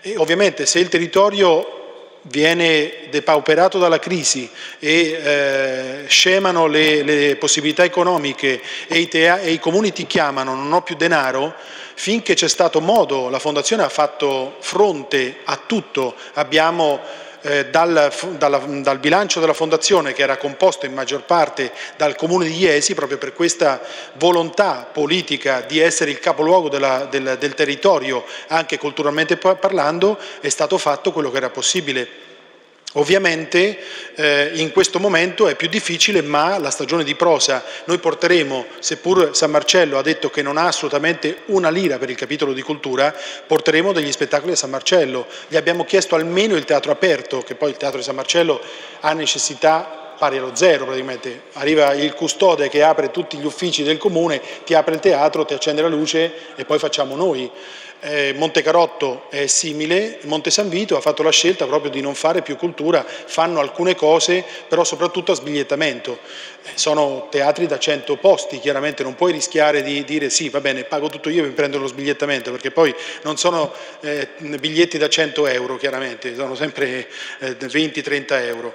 Per quanto riguarda le maestranze, allora io vorrei che eh, ci fosse un approfondimento da parte, da parte, di tutti, così come devo farlo io, di, che, di quella che è la legge nazionale. La legge nazionale prevede, ed è il Ministero che decreta chi sei, ti dà la carta d'identità, tu per tuo merito sei questo o questo, e intendo gli enti lirici, teatro di tradizione, lirica ordinaria, ICO. Se si legge attentamente il decreto ministeriale, il decreto ministeriale, io ne ho parlato più di una volta con il dottor Nastasi e con Graziano e loro se ne guardano bene dal fare commistioni e dal chiedere che ci sia territorialità di azione da parte dei teatri. Le ICO sono le ICO, i teatri di tradizione sono teatri di tradizione, gli enti lirici sono enti lirici. Per quello che riguarda l'attività che dobbiamo fare noi come teatro di tradizione, c'è scritto che noi dobbiamo fare con minimo 45 professori e le parole successive sono italiani o europei. Per cui noi come teatro di tradizione non abbiamo nessun legame di parentela decretato da chi ci dà la patente di teatro di tradizione con nessuno su nessun territorio nazionale, italiani o europei. E molti teatri hanno l'orchestra regionale, chi non ce l'ha ogni anno fa l'audizione fa le audizioni e si fa la sua orchestra, cosa che anche Iesi faceva quando era comunale e non c'era la cooperativa Form e non c'era la fondazione Form. E io vi dico che da cascettario nazionale, perché c'è anche da, da, da, da, sapere queste regole di mercato, se vai in un ente lirico tu hai la prima parte, hai la spalla, il violino, il primo violino, poi hai prime, i primi violini, il secondo, i terzi, così come per tutti gli strumenti. E ogni strumento ha un suo costo. Allora, il mio, pur rimanendo nel, nel cuore, nel romantico, nell'artistico più che vogliamo, però poi alla fine vogliono essere tutti pagati, gli artisti, eh, perché, io mi chiedo e lo chiedo, perché dobbiamo trattare con un soggetto che ha dipendenti per otto mesi all'anno, per i restanti quattro non sono dipendenti della form, quindi come se io dovessi avere un sensale con cui andare a trattare un prezzo sindacale di 140 l'un per l'altro, quando la legge non mi obbliga a questo e mi dice che devo minimamente rispettare la legge con 45 professori italiani e europei. Perché non possiamo noi e lo possiamo da legge, fare le audizioni, costituire una nostra orchestra e andare a trattare, così come ci sono i contratti nazionali, con la, la spalla anche 200 euro, ma se sei un violino di, terza, di terzo leggio prendi 80 euro come il cascettario nazionale e ovviamente io potrei fare una razionalizzazione di molto maggiore. Per ovviare a questo ho sempre chiesto alla Regione paga una parte del costo. Se hanno problemi sindacali e i sindacati richiedono quel costo, benissimo, rispetto le scelte sindacali, ma paga tu una parte di quel, di quel, di quel costo. Non è che non lo voglio pagare, non ci si riesce più. Se paghi l'orchestra, cioè, io dovrei scendere in particolari che sono propri della nostra professione. A Macerata, per reggere un coro e un'orchestra di quelle dimensioni, perché servono orchestre e cori importanti, non c'è più niente in scena. Cioè, io, io, vivo Macerata dal, dal 78, l'ho cominciato a frequentare. Io ricordo le scenografie che venivano messe sul palcoscenico di Macerata. Oggi sono tutte illuminazioni, tutte proiezioni, per carità, grande inventiva, ma non c'è più niente, non puoi più spendere niente perché ti costano le masse. La cosa più costosa all'interno di uno spettacolo sono le masse. Allora, la legge mi permette di andare ad una contrattazione a personam. Perché non lo posso fare? C'è una legge del mercato del lavoro. Vogliamo essere solo romantici? Va bene, allora datemi la facoltà di avere più denaro, aiutatemi politicamente per avere più budget e pagare quello che viene chiesto sindacalmente dai vari soggetti. Grazie. Non ci sono altre prenotazioni, credo che abbiamo chiesto molte cose, ringrazio anche i colleghi che hanno capito l'esigenza dell'amministratore di allontanarsi che ha un altro impegno, ringrazio William Graziosi per aver accettato l'invito.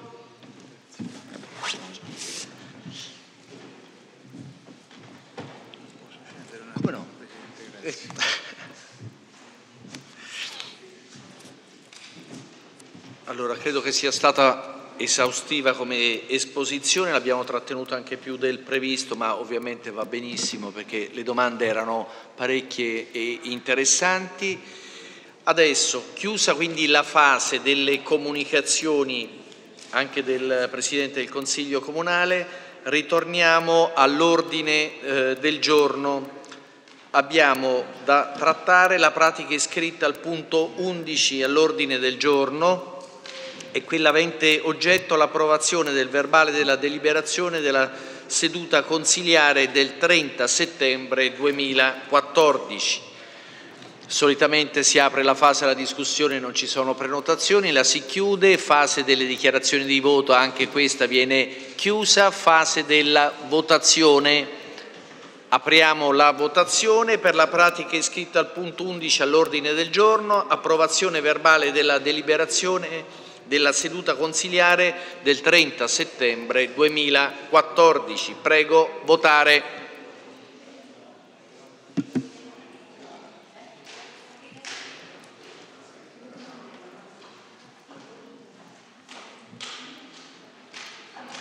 Bacci non c'è, assente.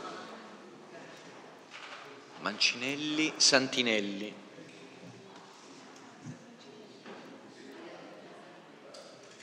Mancinelli. Comunico l'esito della votazione. I presenti sono 17 consiglieri, voti favorevoli 17, nessun contrario, nessun astenuto. Il Consiglio Comunale approva. Passiamo ora a trattare la pratica iscritta al punto 12 all'ordine del giorno e quella avente per oggetto articolo 29 dello Statuto Comunale e articolo 45 del dei regolamenti sugli istituti di partecipazione e consultazione dei cittadini, surroga del consigliere straniero aggiunto Bujan MD Farouk Hossein. Allora, eh, in qualche modo era stata anticipata la pratica eh, da una eh, interrogazione presentata dalla consigliera eh, del Movimento 5 Stelle Maria Teresa Mancia. Contestualmente era in preparazione questa pratica e con la in qualche modo sovrapposizione delle stesse. Comunque eh, la pratica vi è stata illustrata ampiamente nel brogliaccio che vi è stato inviato. Ricordo che l'8 maggio del 2012 c'è stato il decreto sindacale di proclamazione del consigliere comunale straniero nella persona di Mujan Mehdi Farouk Hossein. Eh, eh, è risultato eletto come consigliere comunale straniero aggiunto lo stesso ehm, Bujan. Eh, in realtà poi eh, c'è un periodo piuttosto prolungato, dal mese di gennaio a tutto il mese di settembre 2014, in cui lo stesso consigliere straniero, eh, comunale straniero è risultato assente in qualche modo ingiustificato.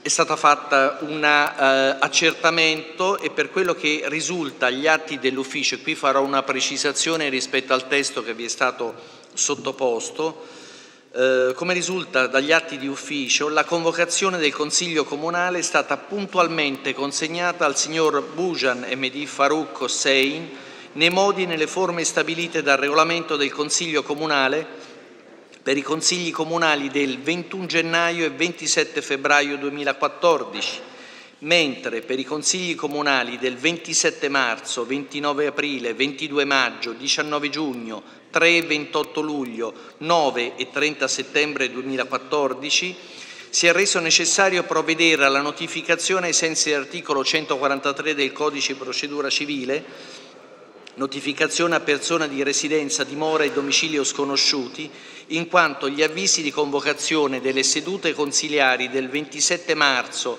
e del 29 aprile 2014, spediti a mezzo del servizio postale, e qui sta la precisazione, il primo tramite posta semplice e l'altro con raccomandata AR, che poi era la forma più corretta, sono stati restituiti all'ufficio con la dicitura il destinatario è irreperibile. Poi preciso che e si arriverà anche a una modifica del regolamento perché a volte appunto eh, in itinere i regolamenti vanno adeguati perché si riscontrano alcune carenze, verrà modificato perché eh, verrà espressamente previsto che per il consigliere straniero aggiunto la stessa previsione del consigliere normale, cioè per tutti noi che c'è la decadenza automatica dopo tre assenze ingiustificate. Per il consigliere comunale straniero aggiunto questo non è previsto, ma visto la, eh, il tempo, la reiterazione delle assenze, nonostante le modalità siano state rispettate e da ultimo l'attestazione di irreperibilità dello stesso che è stata certificata in data 24 ottobre 2014 da parte del ehm, degli uffici a seguito degli accertamenti ulteriormente fatti si è giunta appunto alla previsione, su questo il Consiglio Comunale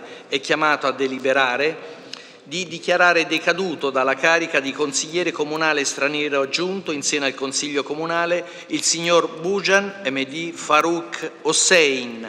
E tenuto conto che eh, quando si è proceduta all'elezione del consigliere comunale straniero aggiunto, due erano i candidati, l'altro candidato era il signor Cardani, Chams e Dine. Eh, la documentazione presentata dallo stesso, da ehm, signor Cardani, è stata ritenuta assolutamente eh, regolare. Si chiede appunto al Consiglio Comunale di Iesi di surrogare il medesimo consigliere che viene mh, così dichiarato decaduto con il signor Cardani Chamseddine, nato a Tunisi in Tunisia il 10 luglio del 1978, residente a Iesi in via Latini numero 7, candidato primo dei non eletti, quindi convalidando la surroga e dando atto che il subentrante ha tutti i requisiti di candidabilità e eleggibilità stabiliti dalla legge e che per lo stesso non esistono condizioni di incompatibilità come da dichiarazione rilasciata dallo stesso e ovviamente agli atti. Questo è il senso della delibera. Se eh, appunto delibera approvata si arriva alla sostituzione del consigliere Bujan con il, consigliere, il neoconsigliere Cardani. Potete prenotarvi, spero di essere stato chiaro nella indicazione della pratica. Non ci sono prenotazioni, quindi Diciamo sì, consigliere, la consigliera Mancia, a facoltà. Dunque volevo motivare la, la richiesta dell'interpellanza.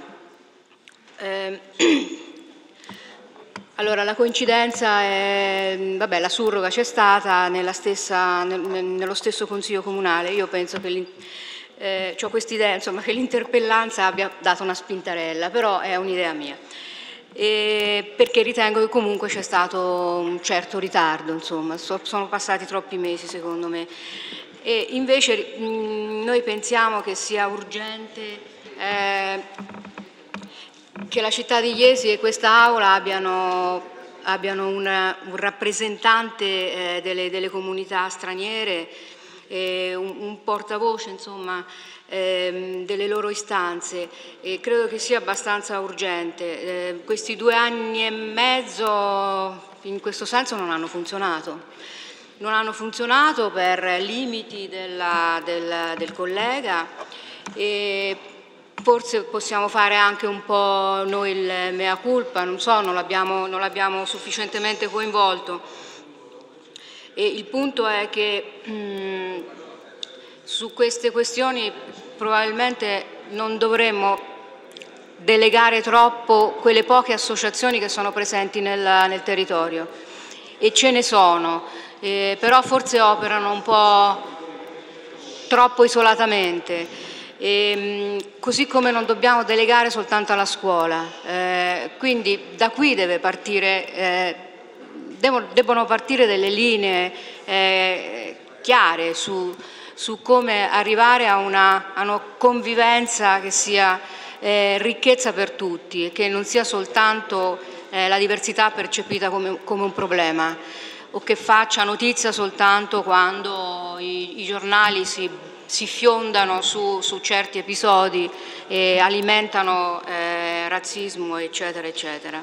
Quindi questa era la motivazione, io mi auspico che le, Qui, qui accanto siederà un, un, un, consigliere straniero che possa veramente lavorare eh, insieme a noi. Grazie consigliera Mancia. Non ci sono altre prenotazioni? Sì, la consigliera Lenti, a facoltà. Sì, eh, noi accogliamo favorevolmente mh, questo, eh, questo provvedimento che viene preso, questa pratica che viene proposta perché sicuramente questa assenza in effetti cominciava a prolungarsi, si sentiva che mancava comunque una rappresentanza eh, importante a livello cittadino, quindi accogliamo il ehm, nostro nuovo collega consigliere augurandogli un buon lavoro e che effettivamente possa eh, portare validamente le istanze anche di queste numerose Mm, nuove diciamo, presenze all'interno della nostra città, così multi, divenuta così multietnica e che sappia anche ecco, contemperare, aiuti, ecco, ci aiuti anche a contemperare quelle che possono essere le esigenze, alle volte anche magari contrastanti no? al loro interno, trovare il modo di collaborare perché si possa veramente camminare anche in questo senso, quindi che porti le stanze e ci aiuti anche a creare un clima effettivamente di convivenza eh, sempre più efficace e sempre più fruttuosa. Quindi benvenuto da parte della nostra maggioranza.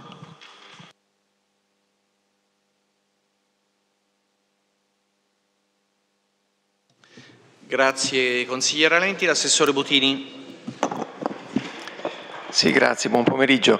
Ma il, in realtà qualche tentativo di coinvolgere il, il precedente consigliere straniero aggiunto eh, c'è stato perlomeno da parte mia con anche una, una risposta, ricordo di avergli eh, affidato diciamo così, la, la, gestione della partecipazione di rappresentanti delle comunità straniere in occasione della ehm, festività civile più sentita a Iesi che è quella del 20 luglio, il 20 luglio non del 2014 ma del 2013 Buian era presente insieme a rappresentanti di altre comunità alla celebrazione che si tiene agli, agli Orti Pace.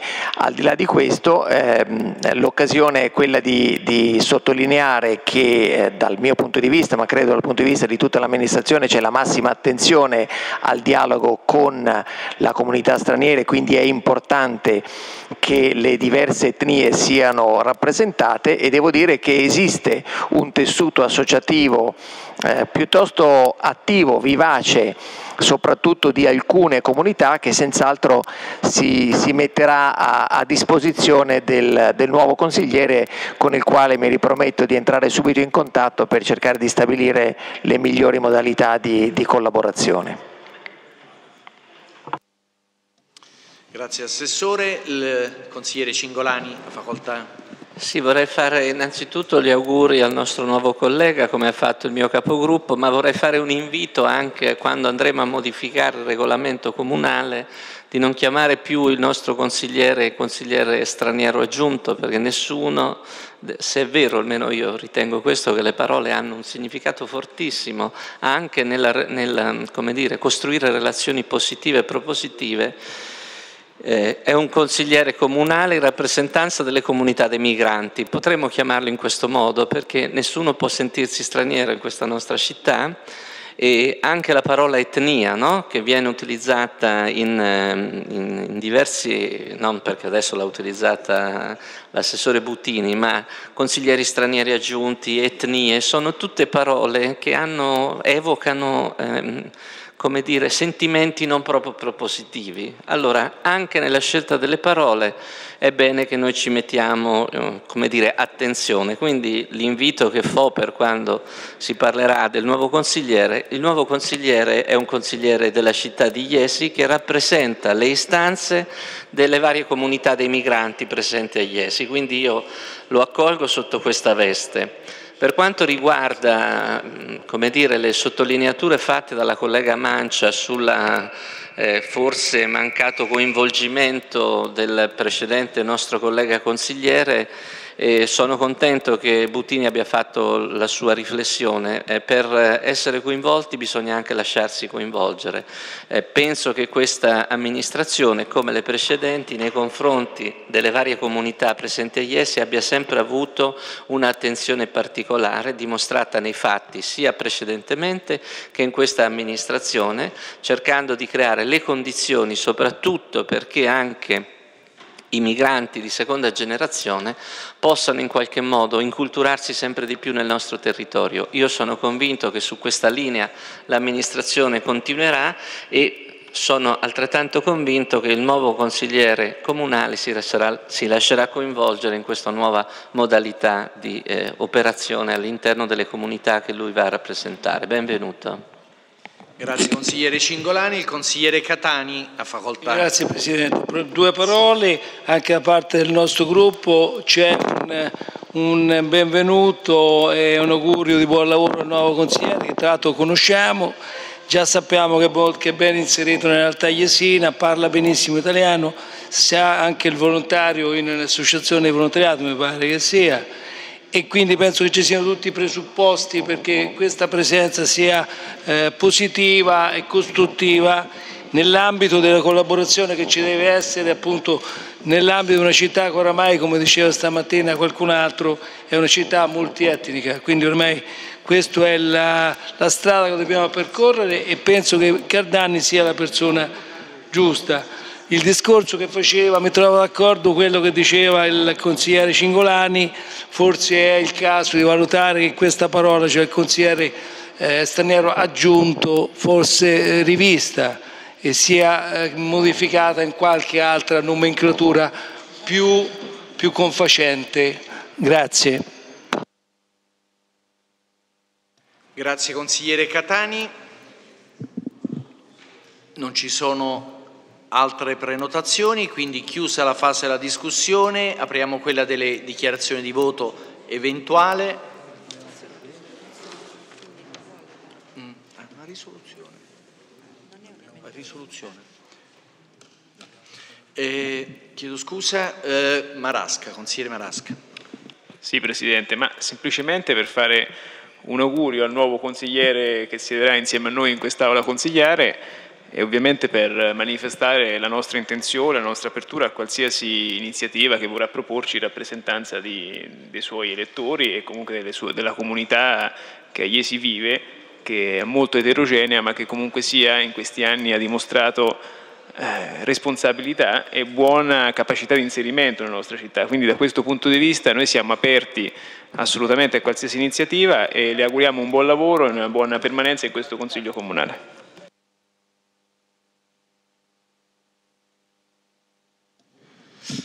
Grazie consigliere Marasca. Consigliere Giampaoletti, a facoltà. Sì, grazie Presidente. Anche noi come gruppo Insieme Civico eh, vogliamo fare il benvenuto a Cardani. Mm, io personalmente lo conosco da, da molto tempo, è molto introdotto, parla molto bene la lingua italiana e poi nello stesso tempo è anche diciamo, volontario, volontario di, mi sembra, protezione?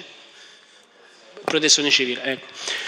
Siamo disponibili per qualsiasi cosa, noi siamo qui, personalmente ci conosciamo, sai dove mi trovo, e per tutte le vostre iniziative, giustamente la voce di tutte le persone straniere e mh, concordo anche con Paolo Cingolani per cambiare diciamo, l'aggettivo, non più consigliere aggiunto perché mh, mi sembra abbastanza antico questa cosa. Ecco, ecco Adesso poi dopo quando interverrai ci dirai come la, la puoi pensare. Grazie.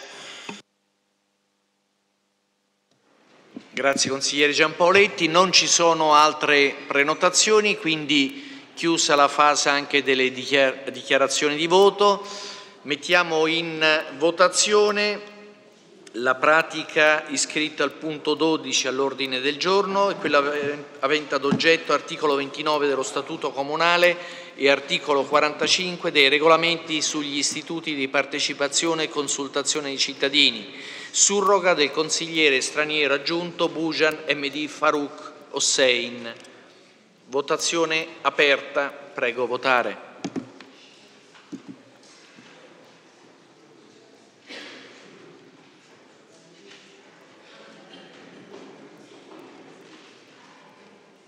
Francesco Rossetti. Donofrio.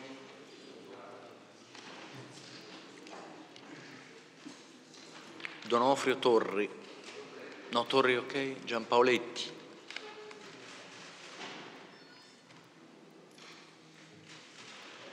Ecco, Giampaoletti ok, Donofrio manca sempre. Ecco, a posto, a posto.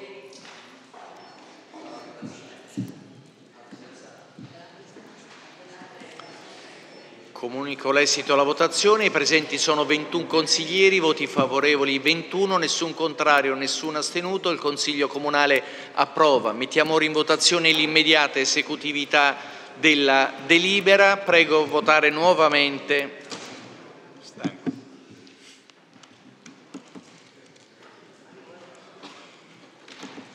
ancora. No, votazione ancora non aperta. Ecco adesso sì.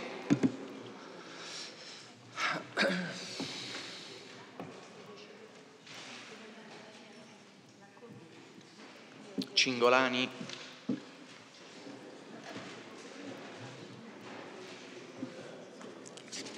Santinelli.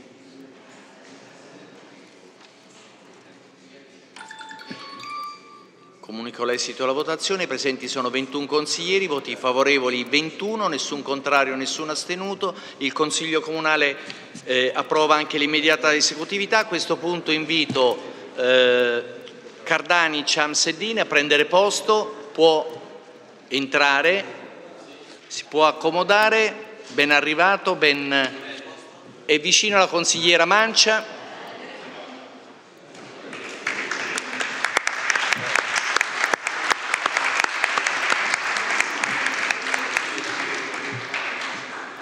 Se vuole dire qualcosa può prenotarsi e le do la parola.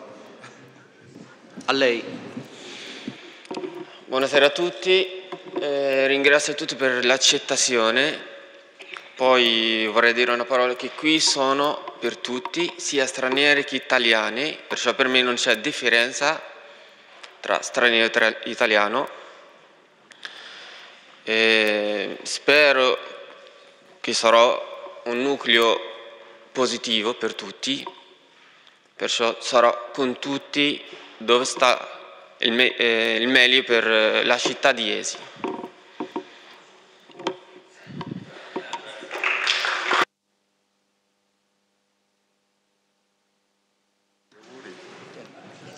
No, non me lo sono perso. Allora, Passiamo ora a trattare il punto 13 dell'ordine del giorno. Ah, comunico una cosa che non avevo comunicato prima perché è assente giustificato il consigliere Giorgio Rossetti. Eh, allora, punto 13 all'ordine del giorno, programma triennale dei lavori pubblici, annualità 2014, 2015, 2016 elenco annuale dei lavori per l'anno 2014, integrazione. Presente illustra la pratica l'assessore Bucci. A facoltà. Sarò molto breve, se mi consentite, perché sono stanco.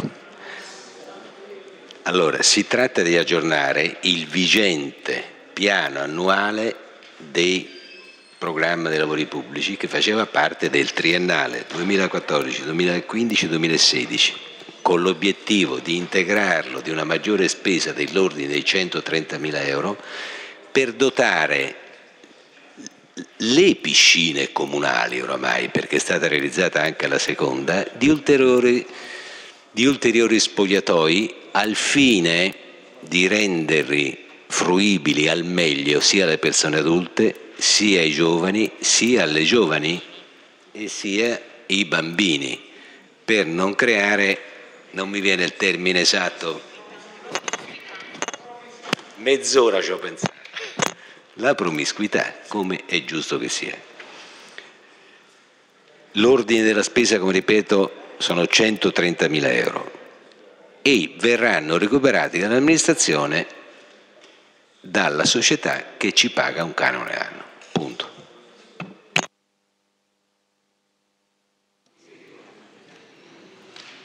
Grazie Assessore.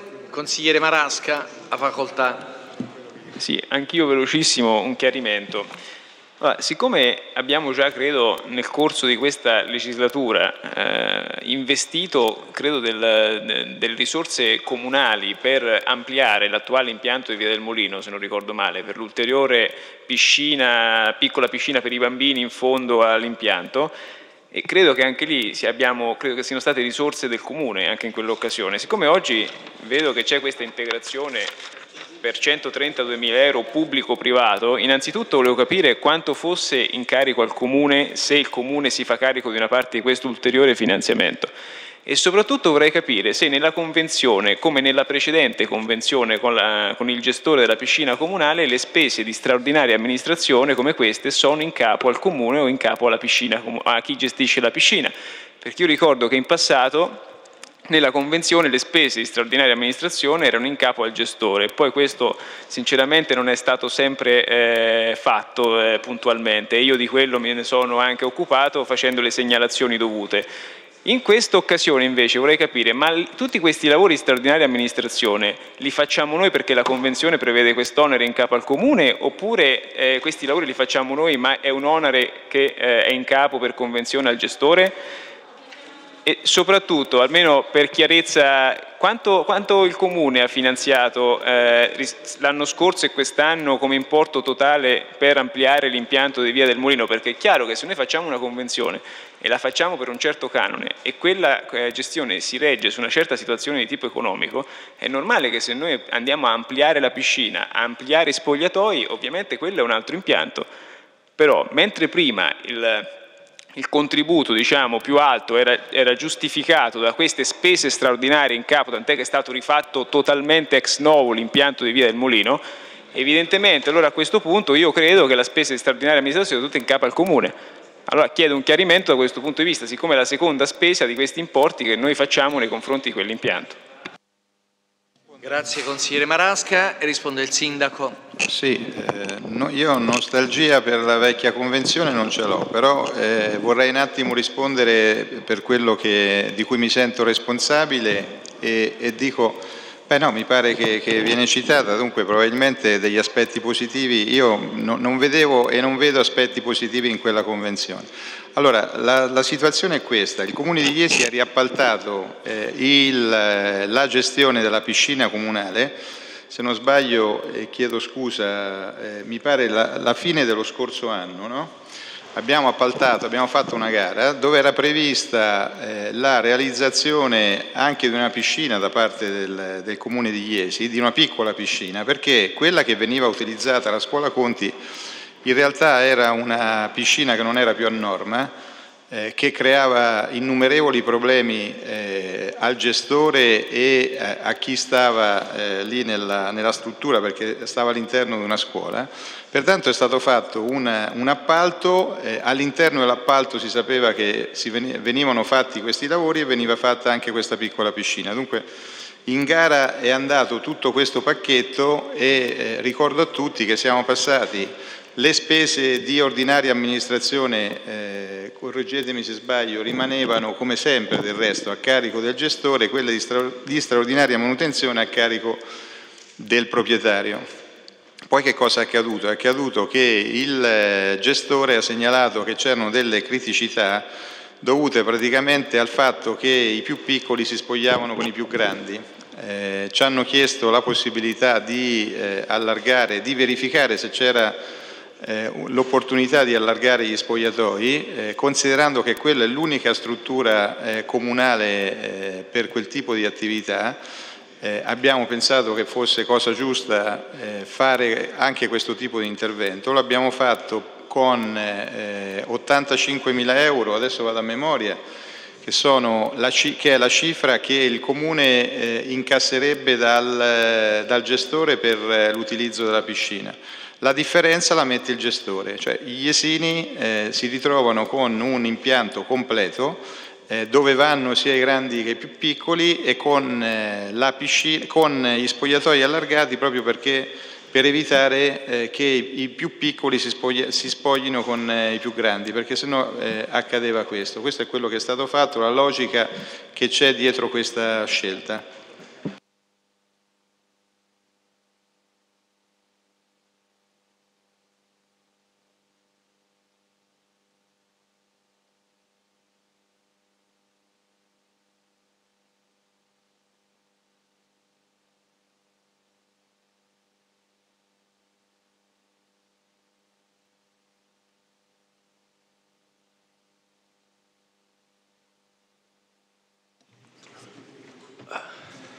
Ci sono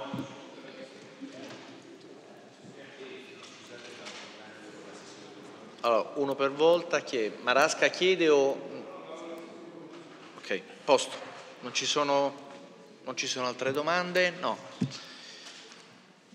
quindi non ci sono prenotazioni, chiusa la fase della discussione, apriamo quella delle dichiarazioni di voto eventuali.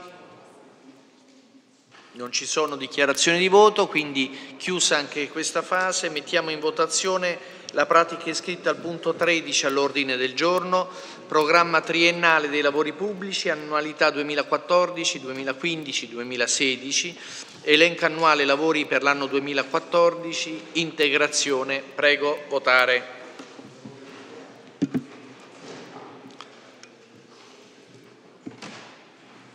Quasi. Ecco, adesso sì.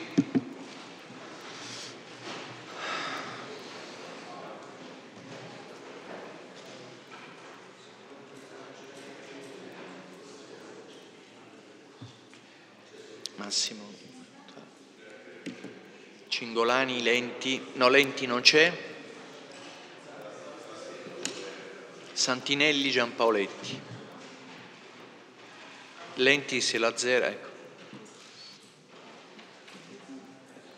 Comunico l'esito della votazione. I presenti sono 18 consiglieri, voti favorevoli 14, nessun contrario, 4 gli astenuti. Consiglieri Mancinelli, Marasca, Francesco Rossetti, Mancia. Il Consiglio Comunale approva. Mettiamo ora in votazione l'immediata esecutività della delibera. Prego votare nuovamente.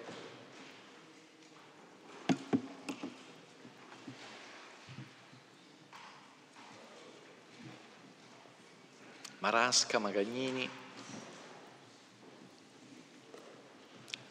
Santinelli, Giampaoletti.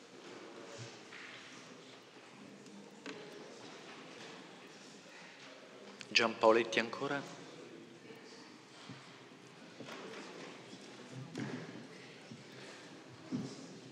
Ecco, a posto.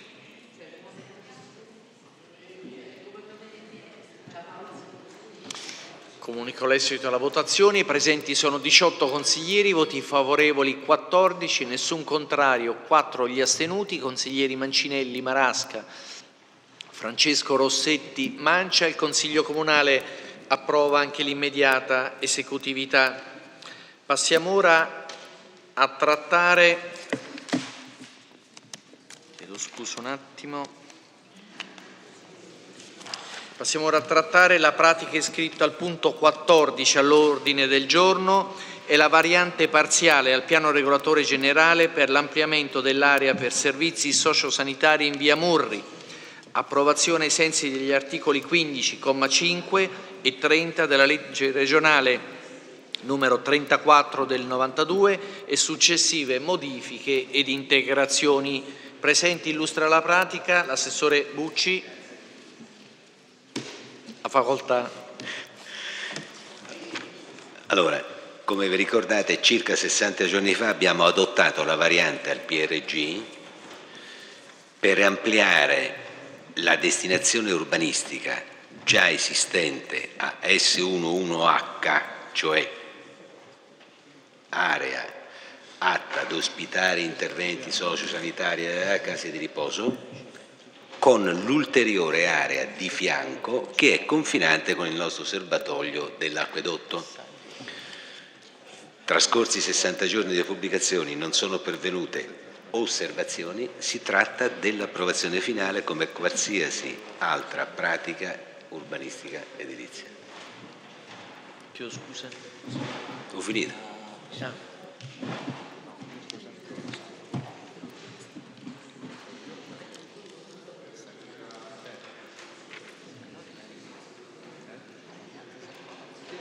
No, ma c'è. No. No, questo. No, no, questo è. No. Questo non è chiede di ritirarla, eh. Si provveda in tempi rapidi a un passaggio in commissione della pratica. Eh. Allora, consigliera Mancia, facoltà. Sì, lei Assessore ha ragione, non sono, in 30 giorni non sono arrivate nessuna osservazione. Eh? 60, vabbè. Ehm, non sono arrivate osservazioni e quindi... Però il punto è che, che magari ehm, non sappiamo niente di questo, di questo progetto, la cittadinanza meno che meno. Quindi se potessimo fare una, um, eh, una commissione, come eh, è scritto nella, eh, nella proposta di, eh, di risoluzione, se la potessimo fare postuma questa cosa e, e oltretutto poi successivamente ehm, coinvolgere la, la popolazione, io non penso che sarebbe una cosa sbagliata perché comunque le cose rimangono sempre molto dentro il palazzo. Ritorno al discorso di stamattina. Eh, colpa nostra che non siamo venuti negli uffici, ma è, ripeto quello che ho detto stamattina, non si arriva dappertutto. Eh, e se eh, ci fosse un sistema eh, più, mh, mm, eh, più, veloce, non dico trasparente, pres eh, Presidente, ma più veloce nella consultazione, quindi io parlo di, di fascicolo delle pratiche, eh, un fascicolo informatizzato in modo tale che si possa eh, accedere anche da casa al limite, anzi senza limite, eh, forse potremmo tendere a questo, no? allora, allora, sì che, che eh, i progetti sarebbero veramente più, più conosciuti e condivisi. E questo è il senso anche della risoluzione, quindi eh, l'ho già anticipata. E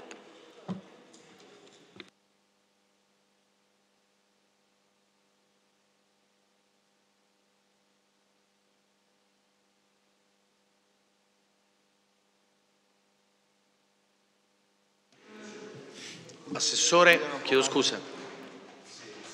Dito, no? Vorrei precisare alla consigliera che qui non parliamo di progetto, parliamo di variante urbanistica di un'area che prima c'era una destinazione pressoché simile, perché con esse ovviamente si intendono i servizi.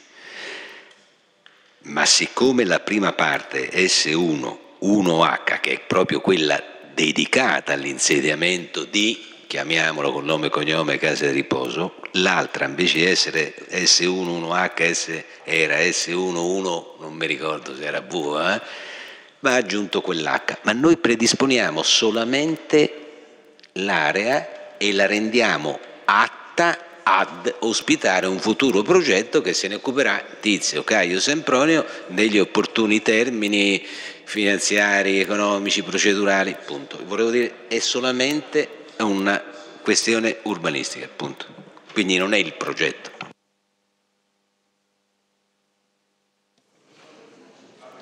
Consigliere Cingolani, facoltà. Sì, la risoluzione presentata dalla consigliera Mancia naturalmente va oltre quella che è l'approvazione di questa, definitiva di questa variante. Eh, è risaputo che questa amministrazione nel suo programma di mandato ha come, come dire, intenzione quella di addivenire alla realizzazione di una nuova struttura della Cassa di Riposo, una, un obiettivo principale di questa amministrazione dettato anche dalle necessità di natura amministrativa perché ehm, diciamo, l'autorizzazione eh, alla nostra cassa di riposo per quelli che sono gli standard strutturali è vicina alla decadenza, nel senso che la Regione nell'autorizzare le RP, le residenze protette, ha dato dei tempi per adeguarsi alle norme strutturali. La nostra attuale casa di riposo, eh, quindi non risponde più oggettivamente eh, a quelli che sono gli, gli, standard di tipo strutturali per cui si dovrà andare alla costruzione di una nuova casa di riposo. Comunque è risaputo che questa amministrazione vuole andare alla costruzione una nuova casa di riposo, naturalmente nelle prerogative di una maggioranza è quella anche di fare delle previsioni ed andare a individuare delle aree, l'area che questa amministrazione ha individuato per la progettazione e la realizzazione di questa nuova casa di riposo è l'area di cui noi oggi andiamo ad approvare la variante definitiva perché diciamo, l'area a disposizione non sarebbe sufficiente per quello sempre che la Regione ci dice che le nuove RP devono essere 80 posti. Per 80 posti c'è uno standard strutturale, abbiamo bisogno di una determinata area. Quindi questo, eh, la variante ha questo significato. Io penso che la proposta che viene fatta dalla consigliera Mancia possa essere accolta, cioè è intenzione dell'amministrazione, essendo la casa di riposo nuova, una casa di riposo per la città, è sicuramente nostra intenzione poterla portare in discussione, ma non in commissione soltanto, prima in quest'aula consigliare, poi con un incontro di tipo pubblico, ma ancora diciamo non abbiamo eh, nessun tipo di progetto come dire, preliminare, ma soltanto fatto eh, l'intendimento politico e stiamo cercando di trovare quello che è lo strumento finanziario che ci potrà consentire poi di andare ad un progetto preliminare, quindi andremo ad una discussione nel momento stesso a cui abbiamo un progetto da presentare, che quell'area, che comunque quell'area sarà in qualche modo destinata a questa funzione è cosa certa, ma penso che questo si legga tra le righe di tutta la procedura che è stata fatta e, e ci muoveremo in questa direzione. Personalmente, Presidente, ritengo che la risoluzione possa essere accolta perché noi porteremo nel momento in cui avremo tutte le carte in regola per presentare un progetto alla discussione del Consiglio Comunale, della, della competente Commissione e anche della cittadinanza. Grazie consigliere Cingolani. Consigliera Mancia. Sì, io prima mi sono espressa male, ma è chiaro che allora, l'idea c'è, no? L'idea c'è, non c'è il progetto. Ehm, ho sbagliato a usare le parole, no? Ma appunto, tanto più eh, se non c'è il progetto sarebbe utile ascoltare anche eh, le idee de, degli altri, degli operatori pure, no? Eh, perché più è condivisa la cosa e meglio è. Eh, evitiamo poi le posso dire, insomma, le, no le sceneggiate, però insomma le cose che, che sono anche successe stamattina. Eh, è l'idea proprio della partecipazione no? che eh, bisogna mettere, eh, mettere, più in pratica, era questo il, questo è il senso. Eh, io potrei avere anche un'idea diversa no? della casa di riposo, per esempio secondo me gli anziani non, so, non li dobbiamo pensare soltanto come malati, no? Ci possono essere e ci sono eh, anche gli anziani eh, autonomi, allora perché non pensare all'interno del progetto a a dei mini appartamenti, a, cioè entriamo in merito, entriamoci insieme in modo, in modo da, eh, da, produrre qualcosa di più, eh, di più condiviso.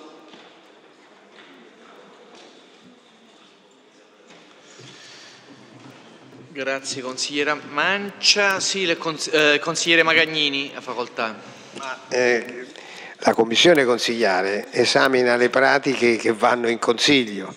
In consiglio questa ci è andata, l'indicazione della consigliera Mancia circa un dibattito, interessare l'opinione pubblica, va al di fuori delle competenze della commissione consigliare. Essere, la commissione consigliare esamina le pratiche e vanno in consiglio. Che poi si voglia sentire le varie associazioni e categorie sono iniziative dell'amministrazione ma che non hanno nulla a che fare con la, con la commissione perché in commissione eh, che dovremmo raccogliere si deve raccogliere indicazioni, suggerimenti su come sarà la casa di riposo. Non ne credo che sia oggetto, se mi permettete non saprei che cosa discutere in commissione. Se poi invece si vuole fare una discussione, si, raccogli si vogliono raccogliere indicazioni che potranno servire a, a chi dovrà farla, dare suggerimenti, a chi dovrà interessarsi effettivamente alla sua casa di riposo, ma è un discorso che va al di fuori della commissione. Ecco, Oltretutto qui trovo scritto in termini brevi, siamo in una fase addirittura primordiale, ancora non c'è l'interessato, non c'è il progetto, non c'è niente, quindi eh, commissione non ci può andare, ma soprattutto nemmeno nei tempi indicati dal, dal, dalla, dalla del, dal consiglio dato dalla consigliera Mancia. Consigliere Cingolani. Precisazione, una, no, una replica, una precisazione.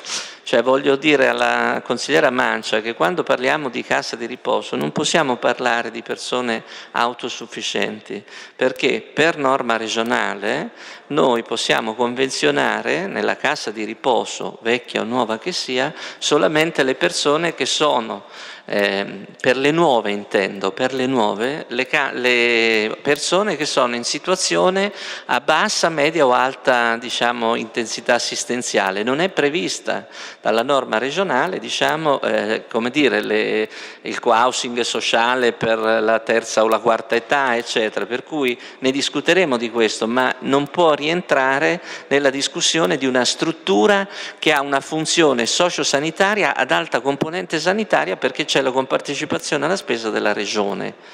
Discorsi ne possiamo fare tante, ma quando parliamo di cassa di riposo non parliamo più della cassa di riposo di un tempo, parliamo di una residenza protetta ad alta eh, componente sanitaria, quindi non c'è posto eh, dire, per le altre strutture. Peraltro, per come la penso io, eh, io sono per un, dire, creare delle possibilità di far permanere gli anziani il più possibile a domicilio, quindi purtroppo la situazione ci impone, stante la situazione attuale del del non rispetto, del non, non, riusciremo più a rispettare gli standard strutturali in tempi rapidi della nostra vecchia cassa di riposo, di andare verso un nuovo progetto. Comunque ne discuteremo sicuramente.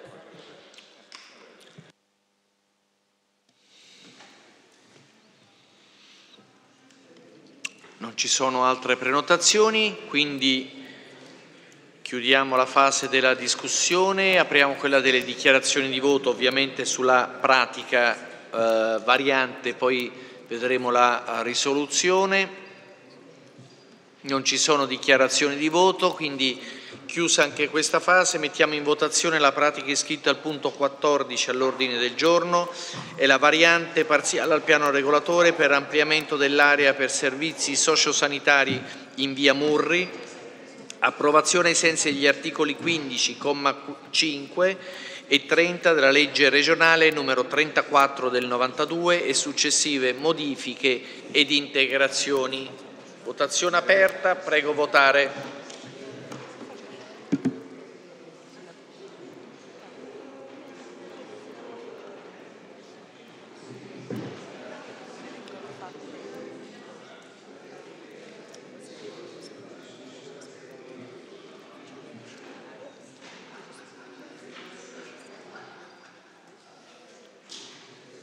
Filonzi, Santinelli, Donofrio.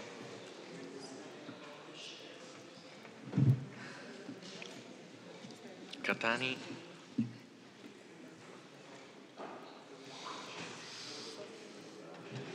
Filonzi, ecco, posto. Comunico l'esito alla votazione, i presenti sono 19 consiglieri, voti favorevoli sono 15, nessun contrario 4 gli astenuti sono i consiglieri Marasca, Bornigia, eh, Francesco Rossetti, Mancia. Il Consiglio Comunale approva. Mettiamo ora in votazione l'immediata esecutività della delibera. Prego votare nuovamente.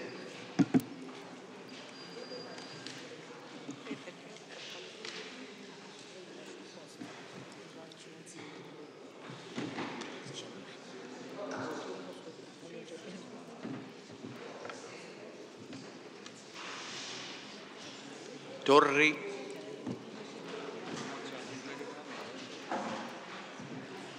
Comunico l'esito della votazione. I presenti sono 19 consiglieri, voti favorevoli sono 15, nessun contrario, 4 gli astenuti. I consiglieri Marasca, Bornigia, Francesco Rossetti, Mancia. Il Consiglio Comunale approva anche l'immediata esecutività. Ora